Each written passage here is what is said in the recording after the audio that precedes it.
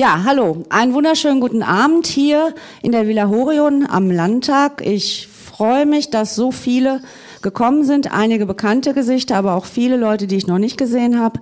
Das freut mich ganz besonders. Wir wollen uns heute Abend mit dem Thema bedingungsloses Grundeinkommen beschäftigen. Wir haben bei den Piraten im Moment eine Themenwoche zu diesem wichtigen Thema. Wir haben innerparteilich diskutiert und wollen nun heute mit Leuten diskutieren, die eine Meinung dazu haben, die sich damit lange beschäftigt haben. Und wir möchten so ein bisschen neue äh, Impulse für unsere Arbeit in der Fraktion sammeln und mit Ihnen und euch diskutieren, wo geht es hin, wie kann so ein Weg aussehen und wie können wir da auch als Fraktion weiter dran arbeiten.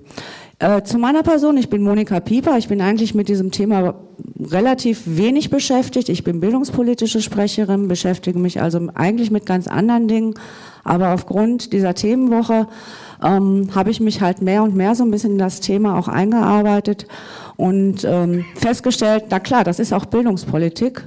Ich ähm, bin gerade aus Berlin gekommen, äh, da haben wir das kleine Grundeinkommen der Bildungspolitik diskutiert. Da haben wir nämlich über offene Lizenzen und freie Lernmaterialien gesprochen, die allen äh, Schülerinnen und Schülern Zugang zu Lernmaterial und zur Bildung bilden. Und insofern glaube ich, dass es kaum einen Bereich gibt, der nicht von einem BGE betroffen ist und der uns alle angeht, egal in welchem äh, Bereich wir arbeiten, uns beschäftigen und uns engagieren. Ja, nochmal herzlich willkommen. Ich stelle an dieser Stelle zunächst einmal unsere Gäste vor, über die ich mich auch sehr freue, dass sie heute den Weg zu uns gekommen ähm, zu uns gefunden haben. Und ich glaube, das kann eigentlich auch jeder selber. Ich fange mal einfach an und gebe das Mikrofon hier. Ja, vielen Dank. Mein Name ist Sascha Liebermann. Äh, ich ähm, engagiere mich äh, seit äh, etwas mehr als zehn Jahren für das bedingungslose Grundeinkommen, will die öffentliche Diskussion fördern dadurch, bin zugleich Soziologe und lehre heute an der Lanus Hochschule in Alfter, das ist eine private Hochschule, ganz in der Nähe von Bonn, am Stadtrand gewissermaßen gelegen und forsche zu dem Thema auch neben dem öffentlichen Engagement oder umgekehrt, wie man es nimmt. Ja. Ja, mein Name ist Michael Fielsch. Äh, ich erlaube mir mal ein bisschen abzulesen, weil ich bin noch nicht so sattelfest in solchen Podiumsdiskussionen. Ähm, ich war bis vor kurzem von Beruf leidenschaftlicher Hartz-IV-Empfänger und hyperaktiver Taugenichts. Ich habe äh, mich inzwischen äh, ja, leiste ich meinen ganz persönlichen Beitrag zur Senkung der Arbeitslosenstatistik. Ich bin nämlich dauerhaft jetzt in den Vorruhestand delegiert worden und äh, dadurch hat eine ganz tolle Karriere für mich angefangen äh, als Arbeitgeber. Ich beschäftige jetzt ja nur noch die anderen und äh, ich habe eine ideologische Grundausbildung in der DDR genossen, hatte jetzt ein sehr langes Zwangspraktikum in der BRD und habe inzwischen einen Ausreiseantrag ins BGE gestellt. Und da der Antrag schon seit Jahren nicht bearbeitet wird, habe ich eben halt mich selber um das Thema zu, oder kümmere mich selber um das Thema Grundeinkommen. Äh, ja, während das noch diskutiert wird in vielen Bereichen, haben wir vor kurzem die Initiative Grundeinkommen für alle gegründet, die inzwischen schon ein kleines Grundeinkommen für 34,49 Euro zum Beispiel im vorigen Monat auszahlt an immer mehr Empfänger, beziehungsweise mit den ersten acht haben wir angefangen. Und äh, mein Schwerpunkt zum BGE ist äh, Bewusstmachung äh, zum Thema eben halt, äh, dass für mich eine positive Wende niemals von der Parteipolitik ausgeht, sondern sie vom Volk ausgeht. Das ist meine eigene Erfahrung eben halt aus meiner DDR-Sozialisierung. Und aus dem heraus äh, ist auch mein Motto, wenn du dich nicht selber kümmerst, kümmert sich die Regierung und dann brauchst du auch nicht rumzuheulen. Danke. Mein Name ist Ronald Blaschke. Ich bin Mitbegründer des Netzwerkes Grundeinkommen des deutschen Netzwerkes. Das hat sich im Jahr 2004 gegründet, justament als im Bundesrat quasi die letzten Absägungen erfolgten, was das Hartz-IV-Gesetz betraf. Äh, ich habe das UBIE mitgegründet, das Unconditional Basic Income Europe. Das ist ein Netzwerk auf europäischer Ebene ähm, bin Herausgeber von verschiedenen Büchern zum Thema Grundeinkommen, beschäftige mich so zwölf Jahre lang damit mit dem Thema, auch zu dem Thema Armut, Wachstumskritik, äh, Postwachstumsgesellschaft, feministische Zugänge zum Thema Grundeinkommen. Das ist so ein bisschen mein, mein Terrain, was ich versuche zu beackern. Ja, hallo, schönen guten Abend, Werner Rätz. Ähm, erstaunlicherweise hatte ich gar nicht mit gerechnet. Bin ich derjenige, der sich schon am längsten mit dem Thema befasst. äh, 1999 beim äh, Weltwirtschaftsgipfel und dem EU-Gipfel hier in Köln hat es einen Gegenkongress gegeben, wo wir einen ausführlichen Blog zum Thema bedingungsloses Grundeinkommen, Existenzgeld äh, gehabt haben, den ich äh, mit organisiert und vorbereitet habe ein bisschen vorher schon ins Thema eingearbeitet, seitdem ähm, vor allen Dingen im Rahmen von Attac, AG Genug für alle, äh, an diesem Thema gearbeitet, ähm, umfangreich publiziert dazu, äh, fünf oder sechs äh, Bücher, sechs glaube ich inzwischen, äh, mit anderen dazu herausgegeben, eine große Zahl an äh, Artikeln, Zeitschriftenbeiträgen. Ähm, in den beiden Netzwerken, die Ronald nennt, in dem einen bin ich nicht so aktiv, äh, in dem Netzwerk Grundeinkommen, in dem europäischen Rahmen, ähm, wie Ronald auch, von Anfang an mit dabei. Ähm, und äh, für uns ist innerhalb der Attack-Diskussion ein äh, sehr wichtiger Punkt, da werden wir nachher inhaltlich noch drauf kommen, ein Grundeinkommen nicht nur, nicht nur das ist es immer auch, als Zugang zum Markt zu denken, sondern Grundeinkommen immer im Zusammenhang mit realer Versorgung, das heißt mit sozialer Infrastruktur, mit öffentlichen Diensten, äh, Sozialsystemen und Ähnlichem in Zusammenhang zu denken. Vielen Dank. Ich komme jetzt mal dazwischen. Ähm, jetzt haben wir gehört, wie lange sich Einzelne schon mit dem Thema beschäftigen. Herr Professor Liebermann, wie lange wird denn dieses Thema überhaupt schon diskutiert? Wann waren die ersten Ideen? Wissen Sie das? Wann das Grundeinkommen wo schon mal diskutiert wurde? Naja, das kommt ganz davon, äh, hängt ganz davon ab, äh, wie Sie das definieren. Äh, es gibt manche, die definieren das sehr weit und dann können Sie die Anfänge eigentlich äh, zurückverfolgen bis in die Almosenverpflichtung. Ne? Das hat dann nicht mehr viel mit dem zu tun, was wir heute diskutieren als bedingungsloses Grundeinkommen. Und wenn man das enger sieht, dann ist der Zeitraum wesentlich kürzer. Ne? Äh, dann kommt die, ist die Frage, wie man das jetzt dann noch äh, weiter eingrenzt.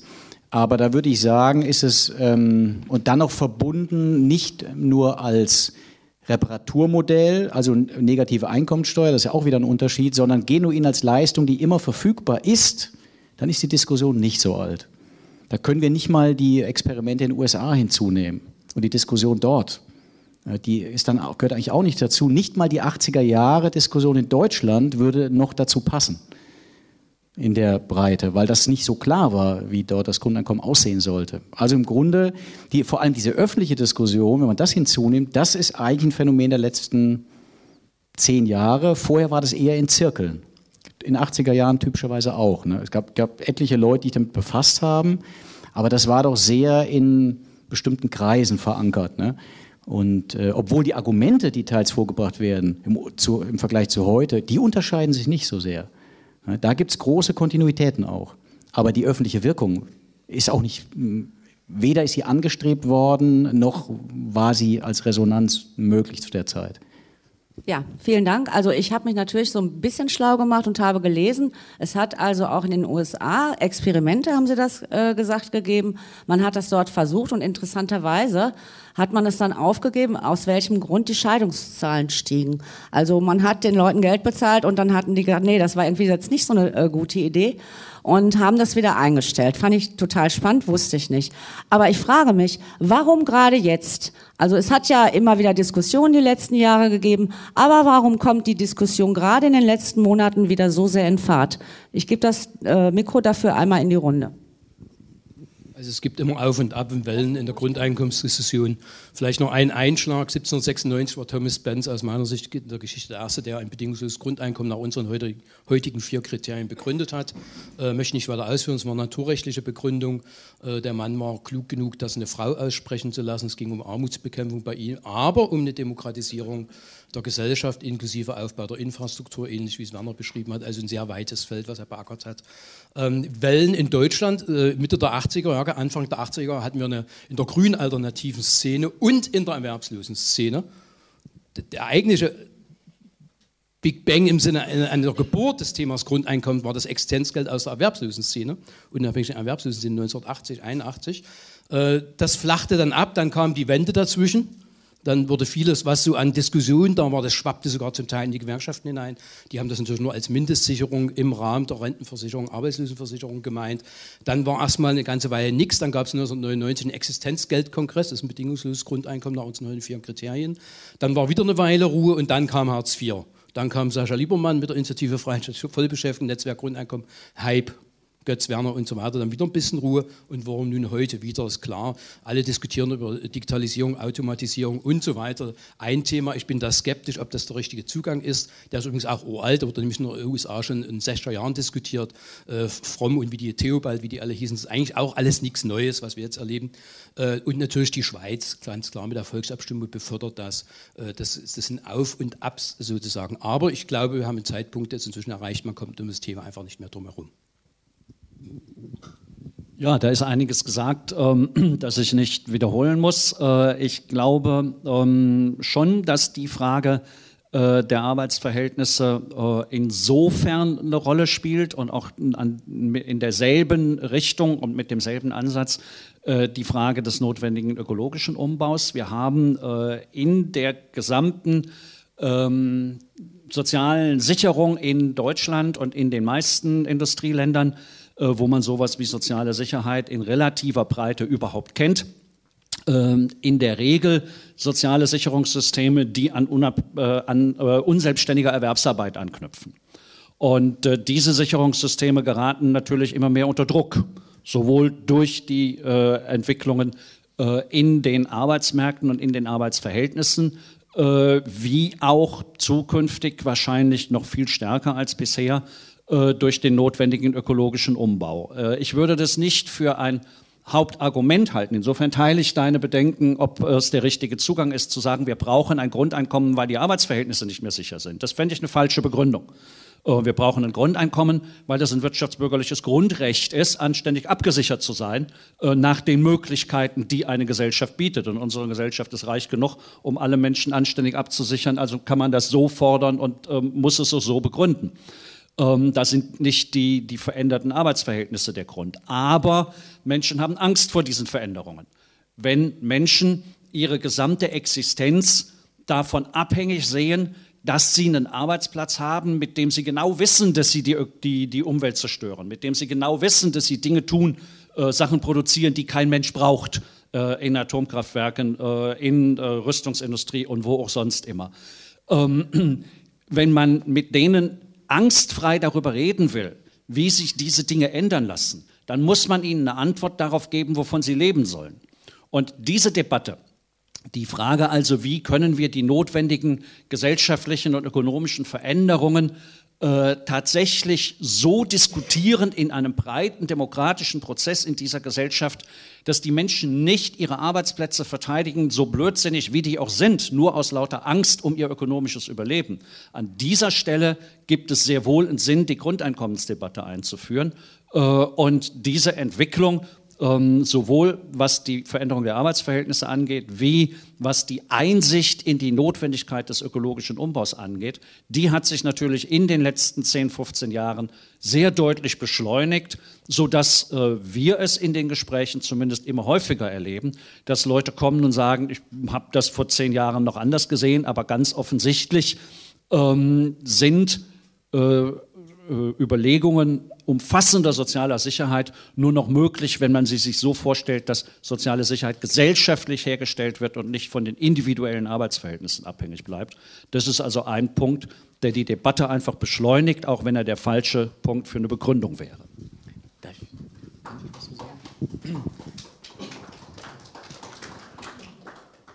Also ähm, ich würde eine Sache äh, würde ich etwas anders sehen, weil Sie haben jetzt vor allem die Angst betont, den Arbeitsplatz zu verlieren, als äh, ein Grund äh, der Sorge. Aber ich finde, äh, man darf nicht unterschätzen, dass die Vorstellung, es ist richtig, arbeiten zu sollen, und zwar nur so, ne? also es geht ja nur um diese Arbeit, nicht um die anderen sinnvollen Dinge, ähm, dass die unglaublich stark verwurzelt ist in unserem Selbstverständnis. Ne, das reicht ja bis hinein in die Kitas, wenn äh, von den Kindern natürlich erwartet wird, dass sie bestimmte Dinge ja lernen müssen. Und es wird gar nicht davon ausgegangen, dass sie die vielleicht lernen wollen, sondern die müssen das lernen. Also es wird auch für richtig gehalten und das macht auch die Diskussion so schwierig, weil wenn es um die Sorgen ginge und die Ängste, könnte man sagen, Leute, das Grundeinkommen ist eine gute Sache, um diese Ängste nicht mehr haben zu müssen. Aber dieselben Leute, die die Ängste haben, die finden es auch richtig, dass man arbeiten gehen soll, um Einkommen zu erhalten. Und das ist eigentlich die größte Barriere für die Diskussion, weil die zugleich eigentlich illusionär ist. Denn wir leben ja heute überhaupt nicht alleine oder vor allem auf der Basis von Erwerbstätigkeit. Das ist, das ist ja eigentlich die Fiktion dahinter. Ne? Sondern da sie werden viele Leistungen außerhalb des Arbeitsmarkts erbracht, die viel grundsätzlicher sind, die im Bruttosozialprodukt nicht auftauchen, die wir immer voraussetzen, so selbstverständlich. Ne? Stichwort Hausarbeit, Care und so weiter. Äh, und wenn es dann darum geht, uns zu fragen, ja, und ne, wie binden wir dann das jetzt zusammen, wenn das alles wichtig ist? Ja, Moment, aber da gibt es ja diese richtige Arbeit. Das ist die wichtige Arbeit. Und die andere, ja, das ist ja eine Privatsache. Das stimmt aber nicht mal volkswirtschaftlich. Das ist, das ist eigentlich die größte Barriere ne, mit, mit den Aufs und Abs in der Diskussion, würde ich sagen. Ja, äh, für mich ist eigentlich das Grundeinkommen, das Thema Grundeinkommen mh, mm, spielt sich für mich mehr auf persönlicher Ebene ab. Und jetzt war ja die Fragestellung eben halt, äh, ja, die, seit wann es eingeführt oder seit wann es wieder jetzt interessant wurde. Für mich wurde es äh, mit der Bundestagswahl 2009 interessant, beziehungsweise bin ich überhaupt erst drauf gestoßen. Ich wollte aufgrund der ganzen Enttäuschungen, die ich erlebt hatte, äh, auch im gesellschaftlichen Bereich, wollte ich aktiver Nichtwähler werden und dachte dann, okay, nee, du kannst aber eben halt nie, gar nicht wählen, geht auch nicht, weil dann wirst du von denen regiert, die du ja nicht wählst. Und äh, bin dann nochmal die Liste eben halt durchgegangen äh, aller Kandidaten und da stand dann Ralf Böse bei mir im Wahlkreis mit drauf, Berlin Mitte. Und da stand dahinter, stand da bedingungsloses Grundeinkommen. Äh, ja, was war das? Was, was ist das überhaupt? Habe ich mich informiert und schlagartig ist mir klar geworden, das ist das, ist das Thema. Das, das, das war für mich die Hoffnung, ähm, rauszukommen aus, diesem, aus dieser Hoffnungslosigkeit eben halt. Und reinzukommen in eine andere Gedankenwelt, zu sehen, okay, das ist der Lösungsansatz. Dann habe ich mir das erst über die Wahl angeguckt, bin dann auch in, beim Ralf Böstern in den Verein eingetreten, bin dann da wieder ausgetreten, habe es mal im Netzwerk versucht, bin da wieder ausgetreten, weil ich gemerkt habe, dass diese in diesen Strukturen kann ich nicht leben, auf, aufgrund meiner ganzen DDR-Vergangenheit, eben halt mit Jungpionier, äh, Thielmann-Pionier, FDJler und was es da alles so gab. Und äh, habe dann angefangen, auch die, mit der BGE-Lobby eben halt die eigene Initiative, die kein Verein war, sondern einfach nur ein loser Verbund und habe mich dann immer mehr in die Thematik selber eingearbeitet, auch natürlich eben halt durch die ganzen äh, äh, Themen, die schon da waren, durch die Menschen, die aktiv waren. Und ich muss dann ganz ehrlich sagen, durch die Beschäftigung mit dem Thema Grundeinkommen habe ich meine eigene Wertigkeit überhaupt wiedergefunden, habe ich überhaupt gemerkt, ey, ich bin ja was wert, weil ich bin und nicht, weil ich was leiste. Ja, und das war für mich so eine Erkenntnis, die äh, mich dann immer weiter vorangetrieben hat. Und auf einmal gab es nochmal so einen Punkt, wo ich auf einmal gemerkt habe, halt mal, halt mal, halt mal, das, das Grundeinkommen, das ist ja nicht mal was Besonderes. Das ist ja eigentlich auch kein Geschenk oder, oder debattieren jetzt, ob, ob, ob, ob, ob, ob man das, ja, ob man mir es leisten kann, ja, und auch allen anderen, sondern nee, halt, das ist ja ein Grundrecht. Es ist ein Grundrecht für mich, weil ich sage eben halt, ich bin hier, lebe auf diesem Planeten, ich habe das das Recht, die Ressourcen dieses Planeten für mein Überleben zu sichern ja, oder zu nutzen eben halt. Ja, jedes Tier geht früh morgens, wenn es aufwacht, erstmal fressen. Ja, nur mir verbietet man es. Ne? Ich muss irgendwo einkaufen gehen, muss dafür aber erst Drecksarbeit machen, damit ich an Geld komme und, und, und. Und deshalb ist für mich Grundeinkommen eben halt ein Grundrecht. Ich will es haben, ich will, es, dass es umgesetzt wird. Punkt aus, basta. Ganz herzlichen Dank. Ich äh, würde gerne nochmal auf den Begriff Arbeit zurückkommen. Sie haben das gerade erwähnt. Äh, müssen wir nicht ein, eine neue Definition des Begriffs Arbeit haben? Äh, die Diskussion ist alt, die habe ich schon während meines Studiums geführt. Ähm, was ist Arbeit? Also ne, die größte Arbeit, die ein Mensch jemals verbringt, ist die eines Kindes, was äh, sprechen und laufen lernt. Ist das ne, auch eine Form von Arbeit? Es verbraucht unheimlich Energie. Da frage ich mich, brauchen wir da nicht erst die gesellschaftliche Veränderung, um zum Beispiel Ehrenamt höher zu schätzen, zu werten? Und steht dann das BGE am Ende eines solchen Prozesses oder würde ein BGE dazu führen, diese gesellschaftliche Veränderung herbeizuführen? Da würde ich mal gleich einhaken, weil das ist, finde ich, auch ein wichtigen Aspekt, weil für mich beides eigentlich zusammengehört. Das ist hier eine Wechselwirkung. Äh, für mich immer der schöne Beweis mit der Abwrackprämie. Wenn ich die Rahmenbedingungen verändere, verändern sich die Menschen. Ja? Und wir haben im Moment Rahmenbedingungen, dass sich Menschen, sage ich mal, im schlimmsten Fall wie Schweine verhalten, ne, indem sie ausbeuten, indem sie versuchen, an Geld ranzukommen und, und, und. Und wenn wir die Rahmenbedingungen ändern, ändern sich die Menschen. Durch das Ändern der Menschen ändert sich die Gesellschaft. Durch die Veränderung der Gesellschaft verändern sich wieder die Menschen und, und, und. Also die Spirale würde in die andere Richtung sozusagen gehen und es würde sich eben halt äh, das Grundrecht umsetzen, die Menschenwürde umsetzen und so weiter. Und dazu muss kein Programm festgelegt werden, sondern wie gesagt die Rahmenbedingungen. Und für mich ist Grundeinkommen eigentlich die Abwrackprämie der Politiker.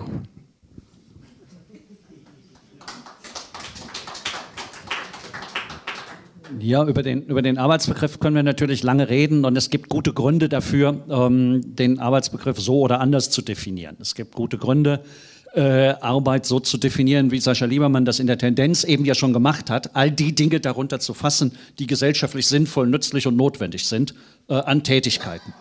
Ähm, dafür gibt es gute äh, und überzeugende Gründe.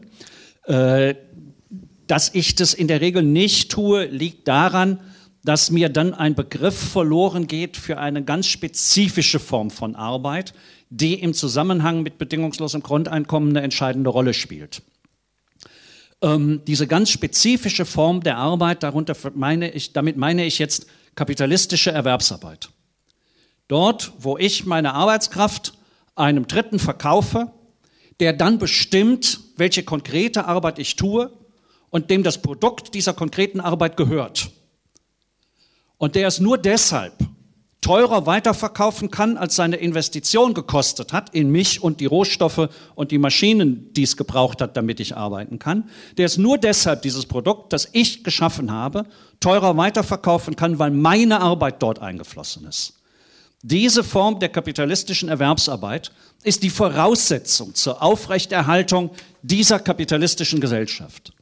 Wenn diese Form von Arbeit nicht mehr abgeliefert werden muss, und nicht mehr abgeliefert werden wird in dem Umfang wie bisher, kriegt die Reproduktion des Kapitalismus ein Problem. Und das bedingungslose Grundeinkommen lockert genau diesen Zwang. Das ist genau der entscheidende Punkt. Arbeit in diesem Sinne ist das, was den Kapitalismus am Laufen hält und das Grundeinkommen schafft mir die Möglichkeit zu sagen, nein, danke, dazu trage ich nicht bei. Deshalb bin ich für so ein bedingungsloses Grundeinkommen.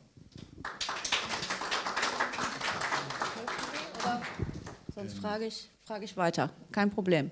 Ähm, ja, aber dann muss ich doch fairerweise sagen, äh, warum kommen jetzt sogar Leute aus der Wirtschaft auf die Idee, ein bedingungsloses Grundeinkommen äh, zu fordern, wenn Sie hier sagen, das macht mich freier und ich brauche mich dann diesen ganzen Zwängen nicht mehr äh, aussetzen, dann äh, ist es ja schwierig zu verstehen, warum jetzt ein Telekom-Chef hergeht und sagt, hey, das finde ich eine gute Idee.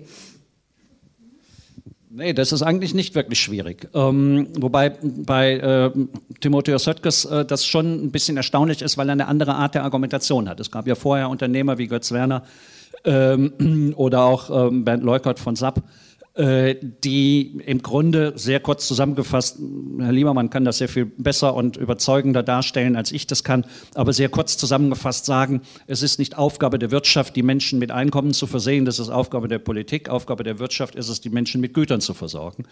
Ähm, das äh, ist eine in sich stimmige Argumentation, die ich so nicht mache, aber die in sich stimmig ist. Höttges argumentiert anders. Höttges argumentiert von den Arbeitsverhältnissen her anders, als ich es eben getan habe. Höttges sagt, wir haben eine Situation, in der nach und nach ähm, Menschen aus den bisherigen Arbeitsverhältnissen raus müssen, Menschen in vollkommen andere Tätigkeiten hinein müssen und das wird Übergangsprobleme geben. Wir brauchen äh, Hunderttausende, Millionen von Einzelhandelsverkäuferinnen und Verkäufern nicht mehr, ähm, weil die äh, äh, durch, durch andere Abläufe, durch technische Abläufe ersetzt werden können.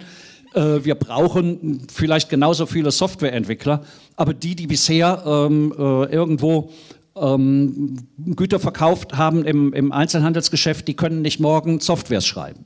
Und da wird es Übergangsprobleme geben. Und diese Übergangsprobleme muss man mit einem bedingungslosen Grundeinkommen, könnte man zukünftig mit einem bedingungslosen Grundeinkommen in den Griff bekommen. So argumentiert Höttges an dieser Stelle. Das wäre ein Übergangsmodell, das wäre nichts. Er wird leider in dem Interview nicht so intensiv gefragt, dass man herausfindet, wie er, ob er überhaupt eine Meinung zu diesem Punkt hat, ob er das mehr sieht als ein Übergangsmodell. Ähm, das wird daraus nicht, nicht ersichtlich. Was spannend ist bei Höttges, und das ist völlig neu auch gegenüber der Debatte, wie Götz Werner sie angeregt hat, der ja ein Finanzierungsmodell über ähm, eine Umsatzsteuer hat, sagt und ganz ausdrücklich sagt von der Wertschöpfung weg die Besteuerung, sagt Höttges, die Besteuerung ist immer der Wertschöpfung gefolgt, die Wertschöpfung wird zukünftig durch Maschinen erfolgen, deshalb muss aus der Wertschöpfung der Maschinen das Grundeinkommen finanziert werden, aus den Gewinnen, aus den hohen Gewinnen der, ähm, der ähm, äh, Internetkonzerne äh, muss das Grundeinkommen finanziert werden. Das ist in der Tat für einen Vorsitzenden äh, eines der größten deutschen Konzerne äh, eine erstaunliche Argumentation. Da würde ich ihn gerne weiter nachfragen. Das hat die Lorenzo in dem Zeitinterview leider nicht getan, so dass man da nichts genaueres zu sagen kann, was sein Hintergrund ist. Ähm, aus der äh, unmittelbaren Rolle als Chef eines großen Unternehmens ist diese Position nicht erklärbar. Götz Werners Position ist aus seiner Rolle als Unternehmer erklärbar. Die, ist, die passt stimmig mit seiner Lebens- und seiner Arbeitssituation zusammen. Bei Höttges habe ich da in der Tat eine Schwierigkeit, das zusammenzubringen. Ich finde es bemerkenswert, wie er argumentiert, ähm, aber es wäre sicherlich mal den Versuch wert, ihn in eine öffentliche Veranstaltung zu bringen.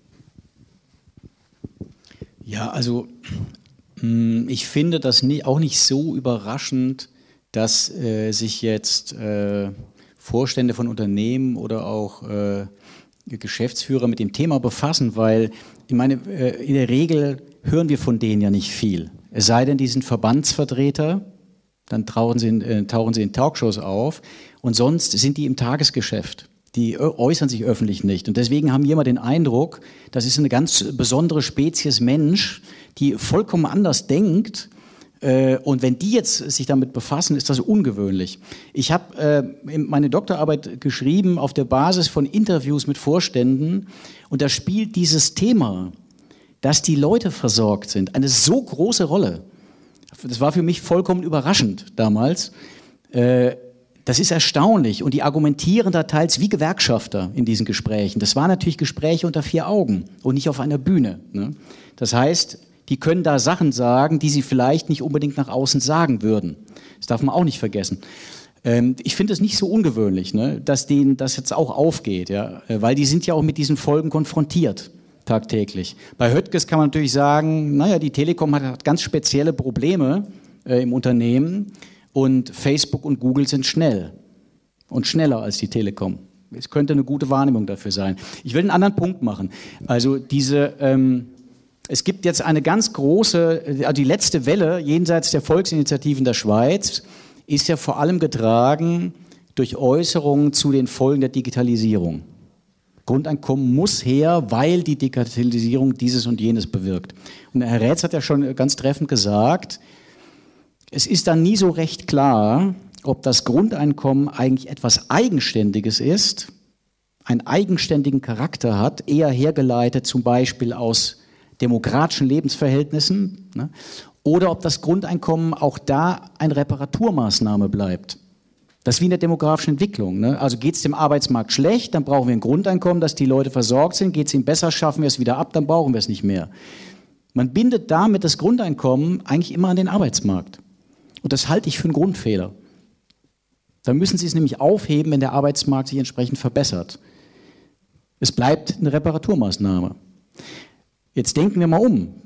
Wir leiten das anders her, dieses Grundeinkommen, unabhängig davon, würden das vor Augen haben oder schon eingeführt und dann würden wir über solche Phänomene ganz anders diskutieren.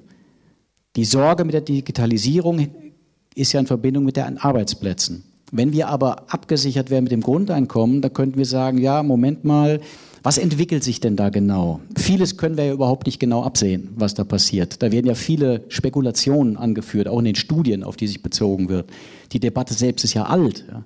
Ne? Technologische Arbeitslosigkeit, wie viel wie umfangreich.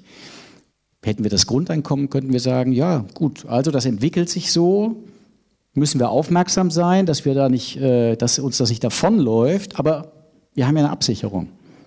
Da kann uns erstmal nichts passieren. Und heute ist diese Diskussion genau umgedreht. Das macht uns ja Angst. Also muss man Maßnahmen ergreifen, hektisch. Und das, äh, dieser Effekt des Grundeinkommens, ein bisschen entspannter auf bestimmte Probleme zu schauen, der gilt ja für viele andere Fragen gleichermaßen. Das, ist ja, das hatten Sie am Anfang angedeutet. Es gibt nicht einen Bereich, für den das Grundeinkommen interessant ist oder zwei. Das, das geht ja eigentlich um ein Selbstverständnis, wie wir zusammenleben. Und die Probleme, wie wir sie heute wahrnehmen, nehmen wir wahr vor dem Hintergrund des Selbstverständnisses, das wir haben. Und wenn wir Arbeit für so wahnsinnig wichtig halten, also diese ne, Erwerbstätigkeit, ja, dann sorgt uns das, wenn die vielleicht wegfällt oder unsere oder bedroht ist, prekär wird oder sonst irgendetwas. Wenn wir aber anders blicken auf die Welt und diese Absicherung haben, nehmen wir andere Probleme wahr, die vielleicht sogar viel drängender wären, über die wir heute gar nicht so viel reden. Vielen Dank. Ähm Bevor wir jetzt das Publikum mit einbeziehen, würde ich dann darauf noch mal eine letzte Frage gerne stellen.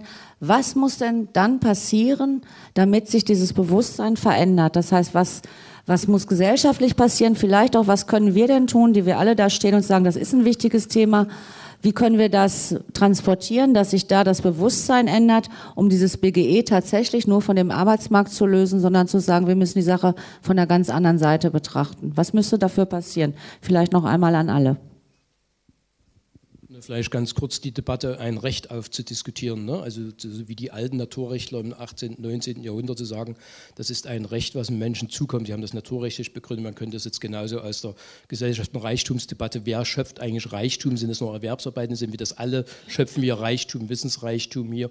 Man kann es über diese Dimension machen, also die Rechtsfrage sozusagen klären. Was gekoppelt ist aber nicht nur an den Bürger, sondern an Menschen grundsätzlich. Also ich bin Vertreter einer menschenrechtlichen Debatte und des Zugangs zu dem Thema Grundeinkommen. Es wäre wichtig zu sagen, der Mensch hat das Recht zu existieren, egal was er tut oder nicht. Punkt. Und dazu gehört in einer Welt, wo Geld erstmal wichtig ist, um dieses Recht umzusetzen, Geld. Wenn ich mir jetzt eine geldlose Gesellschaft vorstelle, kann ich das Recht anders umsetzen. Da haben wir dann die Debatten, die auch beim Piraten geführt werden, kostenfreie Zugänge zu und, und, und. Es gibt sogar Leute wie Erich Fromm, die sagen, wir könnten sogar die ganzen Nahrung, Kleidung und bis hin zur Wohnung alles kostenfrei machen. So weit will ich nicht gehen, aber alles das kann man diskutieren. Die Überschrift ist ja nicht Grundeinkommen, sondern ist ja das Grundrecht auf bedingungslosen Zugang zu Ressourcen, um meine Existenz und gesellschaftliche Teilhabe abzusichern. Und diese Debatte zu verschärfen, ist aus meiner Sicht viel wichtiger, als mit der Automatisierung, Digitalisierung zu diskutieren, weil da viele, viele Probleme dranhängen. Ich wiederhole es nochmal, in sechs Jahren hat man dieselbe Debatte in den USA und dann war es wieder weg vom Fenster, als man wieder ein bisschen Aufschwung gab. Das ist nicht, ist nicht zielführend aus meiner Sicht. Ähm, ja, diese, diese rechte Debatte ist ein Ansatz, den wir genauso vertreten und äh, verfolgen. Auch unsere Argumentation für ein bedingungsloses Grundeinkommen ist im Kern eine menschenrechtliche. Ähm, auch da wichtig, was Ronald äh, angedeutet hat, nochmal in, in aller Klarheit ausgesprochen. Das Menschenrecht ist nicht das Recht auf ein Einkommen, das Menschenrecht ist ein Recht auf ein anständiges ähm, materiell gesichertes Leben im Rahmen der gesellschaftlichen Möglichkeiten. Und das bedingungslose Grundeinkommen ist ein Instrument zur Einlösung dieses äh, Menschenrechtes. Ähm, dieses Menschenrecht gilt aber bedingungslos. Äh, es äh, kommen ähm, zwei weitere Dinge aber hinzu. Das äh, Erste, was hinzukommt, ist, ähm, wir können das.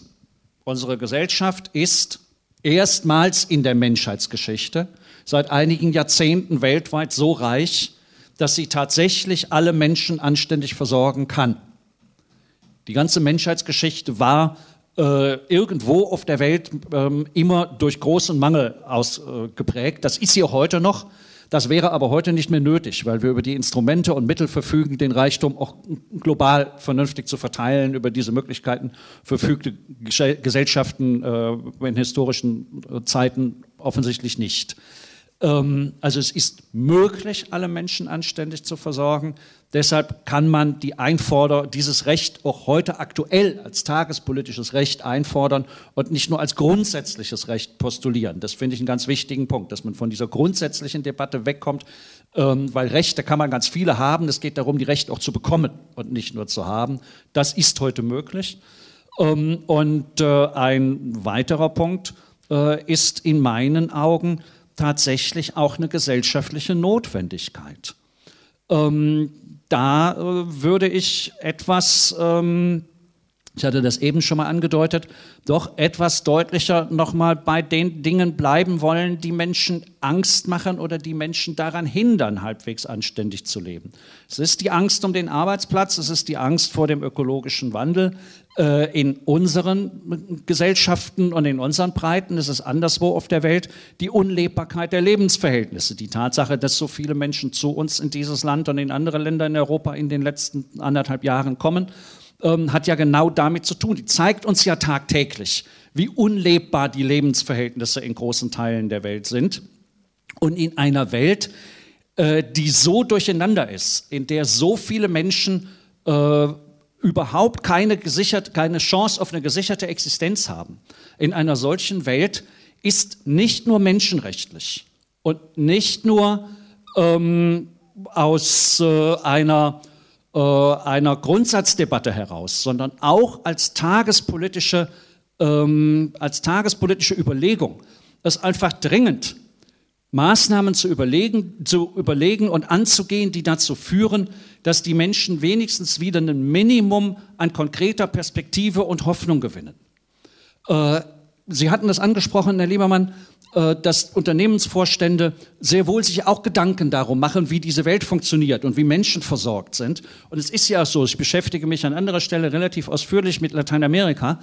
Ähm, und wenn man dort mit den Menschen redet, es ist auch für die Reichen nicht schön, in gated communities zu leben mit Mauern drumherum, wo man mindestens alle halbe Jahre die Wächter auswechseln muss, weil es höchstens ein halbes Jahr dauert, bis die Mafia die bestochen hat. Äh, und wo man raus nur im Hubschrauber kann und im gepanzerten Auto und ansonsten Angst haben muss, entführt zu werden. Das ist auch für die nicht schön.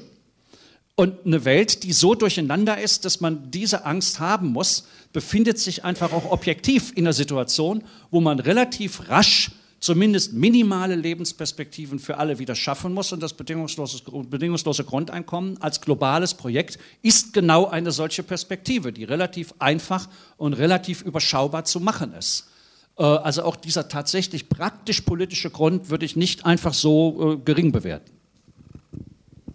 Dann würde ich mal noch auf einen anderen Aspekt eingehen wollen, weil Grundeinkommen ist für mich ein sehr persönliches Thema.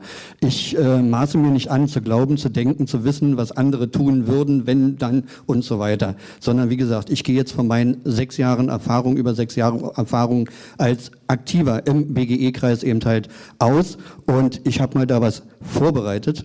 Und zwar habe ich das meine Erfahrung, wenn ich mal diesen Kreis alles von BGE-Modellen nehme, ne, Kunterbund und so weiter, dann sagt jeder einzelne von diesen BGE-Modellierern, wenn er dann, die, wenn einer davon in die Öffentlichkeit tritt, sagen alle geschlossen Nein. Ja, zu diesem einen Modell, obwohl sie eigentlich keine Gruppe bilden, obwohl sie sich nicht mal bewegt haben, sagen sie aber oder definieren sich alle über das Nein als das Nein, weil sie sagen, dieses Modell ist falsch ja, oder da ist das falsch und so weiter. Wenn der jetzt dann enttäuscht wieder zurück in die Gruppe tritt sozusagen oder wieder in diese Vereinzelung und der nächste raustritt, passiert genau dasselbe. Und in diesem Modus befinden wir uns ganz stark, habe ich festgestellt, dass wir einfach nicht sehen, dass die Ideen und die Gedanken des anderen uns bereichern, die, äh, die ganze Diskussion bereichert, Lösungswege auftut, Probleme aufzeigt und so weiter. Und ich würde mir wünschen, dass eine dass durch mehr Toleranz für die anderen Themen.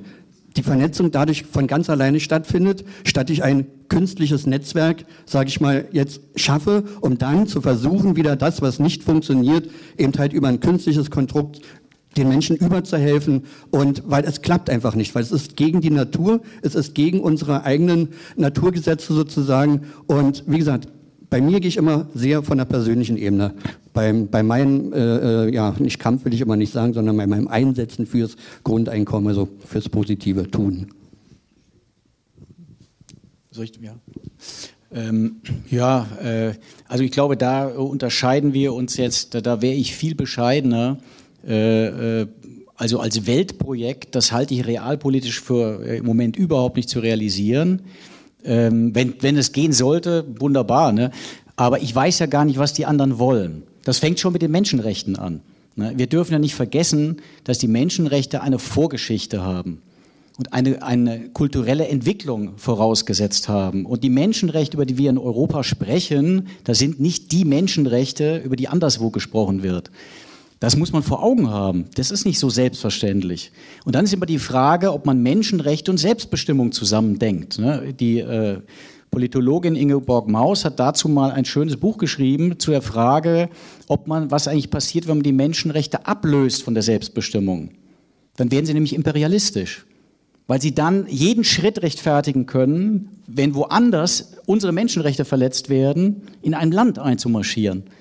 Ne, das ist eine ganz problematische Konstellation. Das macht es eben auch so schwierig. Ne? Also ich würde dann deswegen viel vorsichtiger sein, was das betrifft. Die Idee kennt natürlich keine Grenzen, das ist ganz klar. Ne? Also man kann das überall diskutieren und überall kann man sich das zu eigen machen. Das sehe ich auch so. Aber ich würde ganz konkret mich hier dafür einsetzen, wo ich lebe, wo ich den Eindruck habe, hier verstehe ich die Menschen, äh, wir haben hier eine mehr oder weniger gemeinsame Basis und wir leben in, einem, in einer Ordnung, die wir teilen. So, und jetzt können, müssen wir darüber streiten, wie wollen wir darin leben? Und das war ja eigentlich der Anfangspunkt der Grundeinkommensdiskussion vor mehr als äh, zehn Jahren. Ähm, also wir haben beispielsweise als Initiative damals, äh, das war für uns ganz klar, dass man jetzt nicht weiter akademische Diskussionen führt. Das war in den 80er Jahren sehr akademisch, ja. sondern man muss das in die Öffentlichkeit bringen und gucken, gibt es noch andere, die das vielleicht auch interessant finden. Das war ja die Zeit als Verabschiedung der Harzgesetze und so weiter. Alles andere als günstig für so eine Grundeinkommensdiskussion. Und ganz überraschend äh, war ja die Resonanz dann, das Interesse dass manche, das ist so, wie Sie das jetzt auch berichtet haben, das finde ich interessant, ne? das Entdecken auf einmal. Man hätte vielleicht selbst nicht, wäre nicht auf die Idee gekommen, aber jetzt, wo man damit äh, konfrontiert ist, auf einmal sieht man, aha, das könnte ein Weg sein. Das habe ich über die Jahre ganz oft erlebt, auch durch die Korrespondenz, die wir äh, gemacht haben mit an, äh, unendlichen vielen Anfragen. Also die öffentliche Diskussion. Und die hat auch viel bewegt, muss man sagen. Die hat viel bewegt. Die Diskussion ist heute viel sachlicher als vor zehn Jahren. Also viel mehr ein Abwägen. Ne? Was spricht dafür, was spricht dagegen, welche Einwände gibt es? Vor zehn Jahren war das teils, waren die Diskussionen schlicht beleidigend. Also unter der Gürtellinie. Das war unglaublich, äh, unvorstellbar eigentlich, was da abging. Ne? Und das ist, das ist heute in der Form ganz selten der Fall. Ne? Also ich habe das kaum noch erlebt. Es ist sehr sachlich und es geht letztlich immer um die Frage, ja, was gesteht man jetzt dem anderen eigentlich zu? Da scheiden sich sofort dann die Geister. Ne? Also, hm, ich komme damit klar, aber Sie von den Piraten und dann Ihre hier Kollegen, na, da weiß ich nicht. Ja. Das ist, da merkt man, das ist ja. praktisch eine richtig harte Mauer in der Diskussion. Ja. Aber die bewegt sich eben. Ne? Und die, die, die, ist ja, die bewegt sich in alle Milieus hinein. Das ist ja interessant. Ja? Das öffnet und schließt Türen. Die öffentliche Debatte ist wichtig. Und öffentliche Debatte heißt ja erstmal diese Frage, ja, wie wollen wir denn zusammen leben? Was halten wir dafür wichtig und nicht, welche Modelle wollen wir haben? Ne? Und dann müssen wir das nächste Jahr, die, wie Sie das beschrieben haben, Frau Neretz, das Grundeinkommen ist ein Instrument für etwas. Das ist ja nicht selbst das Ziel. Ne? Das ist ein Mittel für etwas und das kann ganz viel in Bewegung setzen. Ne? Was, wie soll das aussehen? Wie großzügig soll das denn sein? Was wollen wir uns da zugestehen? Oder vorsichtig, kleinlich, lieber wenig, ne, damit er bloß nicht auf dem Sessel sitzen bleibt. Das ist eine Grundfrage dabei. Und die öffentliche Diskussion hat da viel bewegt. Auf die würde ich weiterhin setzen. Alles andere wäre außerhalb dessen, was Demokratien erlauben eigentlich an Möglichkeiten. Ich stimme Ihnen jetzt erstmal zu, was die öffentliche Diskussion betrifft. Ich erinnere mich, 2012 war ich auf einer Podiumsdiskussion zum Thema Europa, hatte also eigentlich gar nichts damit zu tun. Und unser Bundestagspräsident, Herr Dr. Lammert, war da und der kam dann irgendwann auch auf mich zu und sagte, ihr Piraten, damit ihr am Grundeinkommen, ne? das geht aber gar nicht, ne? das lässt sich überhaupt nicht bezahlen und äh, das war, ne? da braucht man gar nicht drüber reden. Und ich glaube, wenn man da heute nochmal nachfragen würde, wäre die Antwort wahrscheinlich eine andere, weil die Diskussion viel breiter gesät ist und ähm, man sich da jetzt intensiv mit auseinandergesetzt hat.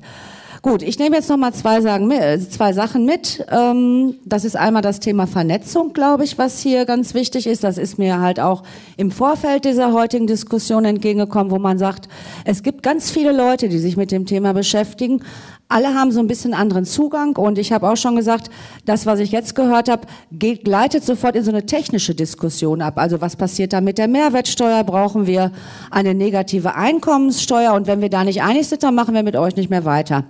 Und ich glaube, im Moment geht es so ein bisschen darum zu gucken, welches Ziel haben wir denn eigentlich gemeinsam? Oder wo können wir zusammen das Thema breiter in die Öffentlichkeit tragen? Das war dieses Schaubild gerade. Einer rennt und der sagt, nee, du hast ein bisschen eine andere Meinung als ich, also will ich lieber nicht mit dir. Also ich glaube, ganz wichtiges Thema zu gucken, wie kriegen wir die Leute zusammen? Wer ist das überhaupt, wer sich mit dem Thema beschäftigt? Vielleicht auch im Moment hier in NRW. Und die zweite Frage, die ich jetzt mitnehme, ähm, das ist auch von Ihnen, ist, ist, ist das tatsächlich, ähm, Sie sprechen von Menschenrechten, Sie sprechen von der Welt, von der Bevölkerung. Äh, ist es tatsächlich sinnvoll, in Deutschland zu sagen, wie in der Schweiz, wir machen das, oder muss man das tatsächlich global angehen? Aber ich glaube, wir machen jetzt nicht wieder eine Antwortrunde. Ich würde jetzt erst mal gerne auch das Mikro in, ähm, in das Publikum geben. Ähm, die Geste nicht. ja. Joachim. Ja, Oder Britta, Britta. Söngerad aus Duisburg. Ich wollte eigentlich nur eine ganz kurze Frage stellen. Ähm, ja, um das in den, ich, oder nicht Frage stellen, ich wollte sagen, Meiner Meinung nach müssen wir viel schneller reagieren, weil der Arbeitsmarkt sich so rasant verändert in letzter Zeit. Also wenn man sieht, wie viele Arbeitsplätze inzwischen äh, sind, wo Arbeitgeber sich quasi entledigen der Verantwortung, bezahlen in Zimmerreinigung statt Stunden, ähm, äh, Regjobber, äh, also Supermärkte werden einge, äh, eingeräumt, nur noch nach Regalen bezahlt, die Mitarbeiter. Ähm, da passiert im Moment etwas. Das heißt, der Arbeitgeber ähm, gibt quasi die Verantwortung, wie die Arbeit zustande kommt und die Entlohnung völlig ab und legt das quasi beim, beim Arbeitnehmer. Und ähm, die können sich kaum noch wehren. Ähm, insofern finde ich, es müssen wir viel, viel schneller diese Diskussion anregen, um da eine Lösung für die Menschen zu machen. Also die Gewerkschaft schafft nichts mehr und eigentlich müsste man mit denen zusammenarbeiten und das versuchen umzusetzen. Wie sehen Sie das? Also das Thema Gewerkschaften ist ganz einfach beantwortet. Wir reden beim Grundeinkommen auch immer über Machtfragen. Ähm, Soziologen kennen das, Krise der Arbeitsgesellschaft, Dahrendorf 1982 in Bamberg, Krise der Arbeitsgesellschaft war das große Thema. Da sprach von diesen Herren der Arbeitsgesellschaft. Wenn in einer Gesellschaft im Zentrum die Lohn, Sprichwort Erwerbsarbeit steht und alles sich drumherum gruppiert von Einkommen, Freizeit, Chancen, Status und was man alles so kennt, und plötzlich wir einen weiten Arbeitsbegriff diskutieren, wir haben ihn gerade andiskutiert, und plötzlich sagen wir, das aus dem Zentrum die Existenzsicherung herausnehmen, verbreitern, mich auf eine Grundlage stellen, die ohne jegliche Bedingung daherkommt, dann gibt es einen Machtverlust dieser Herren der Arbeitsgesellschaft. Das sind konkret Arbeitgeber und Arbeitnehmer, Verbände. Punkt. Das heißt aber nicht, dass die Gewerkschaften nicht willens sind und bereit sind, darüber zu diskutieren, man muss natürlich unterscheiden zwischen Basis und Funktionären. Das ist aber in jedem Verband so. Das ist bei Arbeitgeberverbänden genau das Gleiche. Parteien übrigens genau das Gleiche. Können Sie schon mal angucken, wer an der Spitze sitzt in der Partei und wie die Basis manchmal diskutiert. Das sind Welten dazwischen. Na, das ist, ähm, ich weiß nicht, ob das beim Piraten auch so ist, keine Ahnung, aber in den Parteien, die ich so kenne, ist dem so. Das ist aber nicht schlimm. Ähm, man muss die Leute einfach einbinden, man redet. Gewerkschafter sind ja genauso Menschen wie du und ich. Ne? Auch der ganz normale Unternehmer ist ein Mensch wie du und ich und dort mit dem muss man die Themen aufblättern. Und dann kommt das, was Sascha Liebermann auch sagte, hinter, hinter vorgehaltenen Hand reden die auch anders. Also ich möchte mal Mäuschen sein bei manchen Vorstandssitzungen von Gewerkschaftern, was die wirklich diskutieren. Das würde mich auch interessieren. Das darf uns gar nicht stören, das ist halt so. Wir sind doch der Souverän, oder?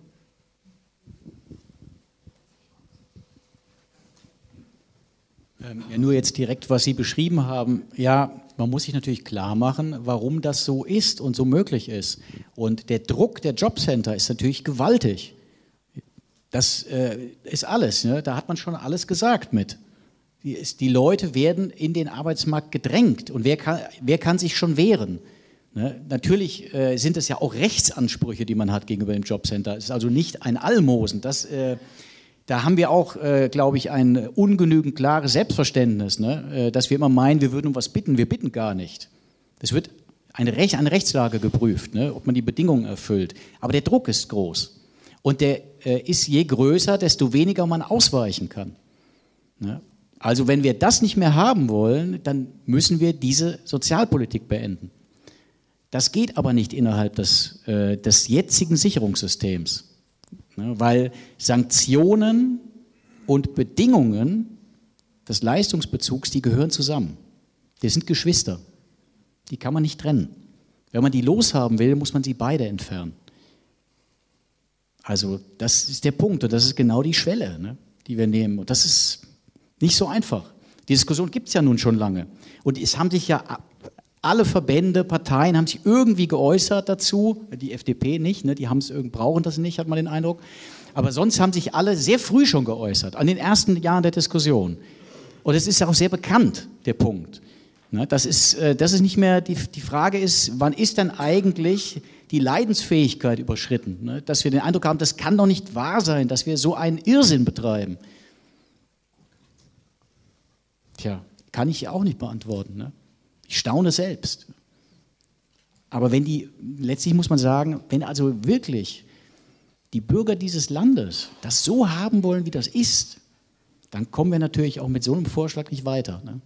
Noch habe ich da die Hoffnung nicht aufgegeben, aber das ist ja eine Realität. Ja, schönen guten Abend. Ähm, ich, ich habe drei Punkte als Fragen an die Diskutanten.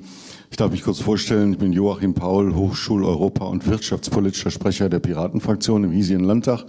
Und ich habe vor nicht ganz einem Jahr in Dortmund einen Kongress, kleinen Kongress veranstaltet zum Thema Ökonomie der Zukunft.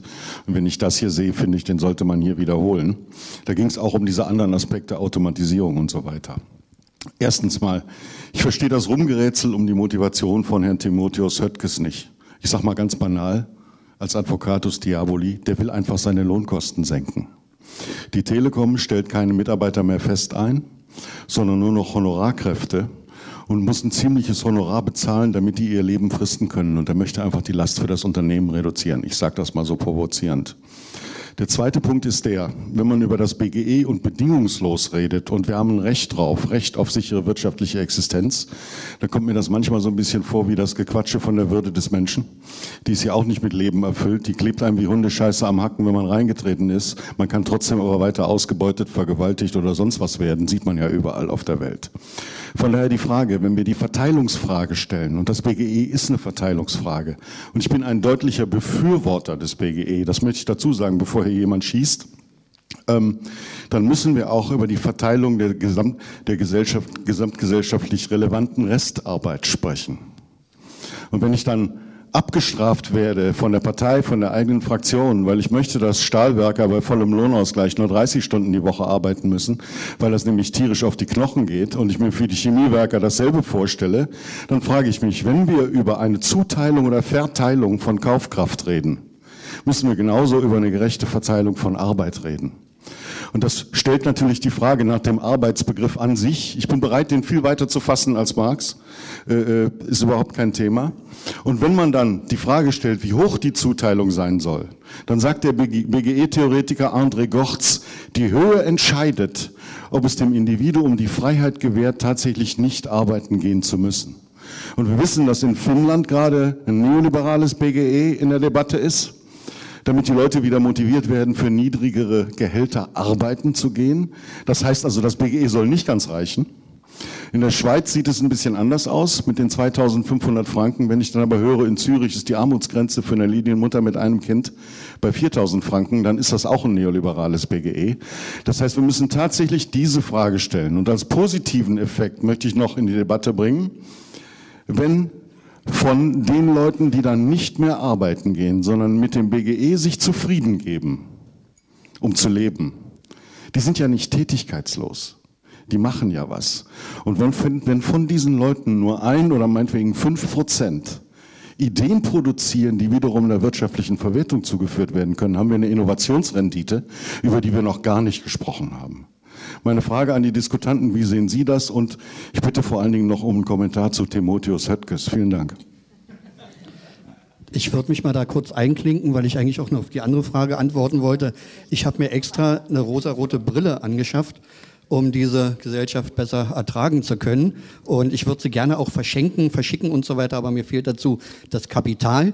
Und äh, ja, wir haben vor kurzem jetzt gerade die BGE Lobby UG gegründet, richtig als Unternehmensgesellschaft, als ein Euro GmbH, als Mini GmbH. Zwei junge Damen haben jeder einen Euro reingelegt und äh, wie gesagt, haben wir die gegründet und haben dann sofort gesagt, dass die Geschäftsführer oder Geschäftsführerinnen dieser Firma kein Geld aus der Firma bekommen. Ja?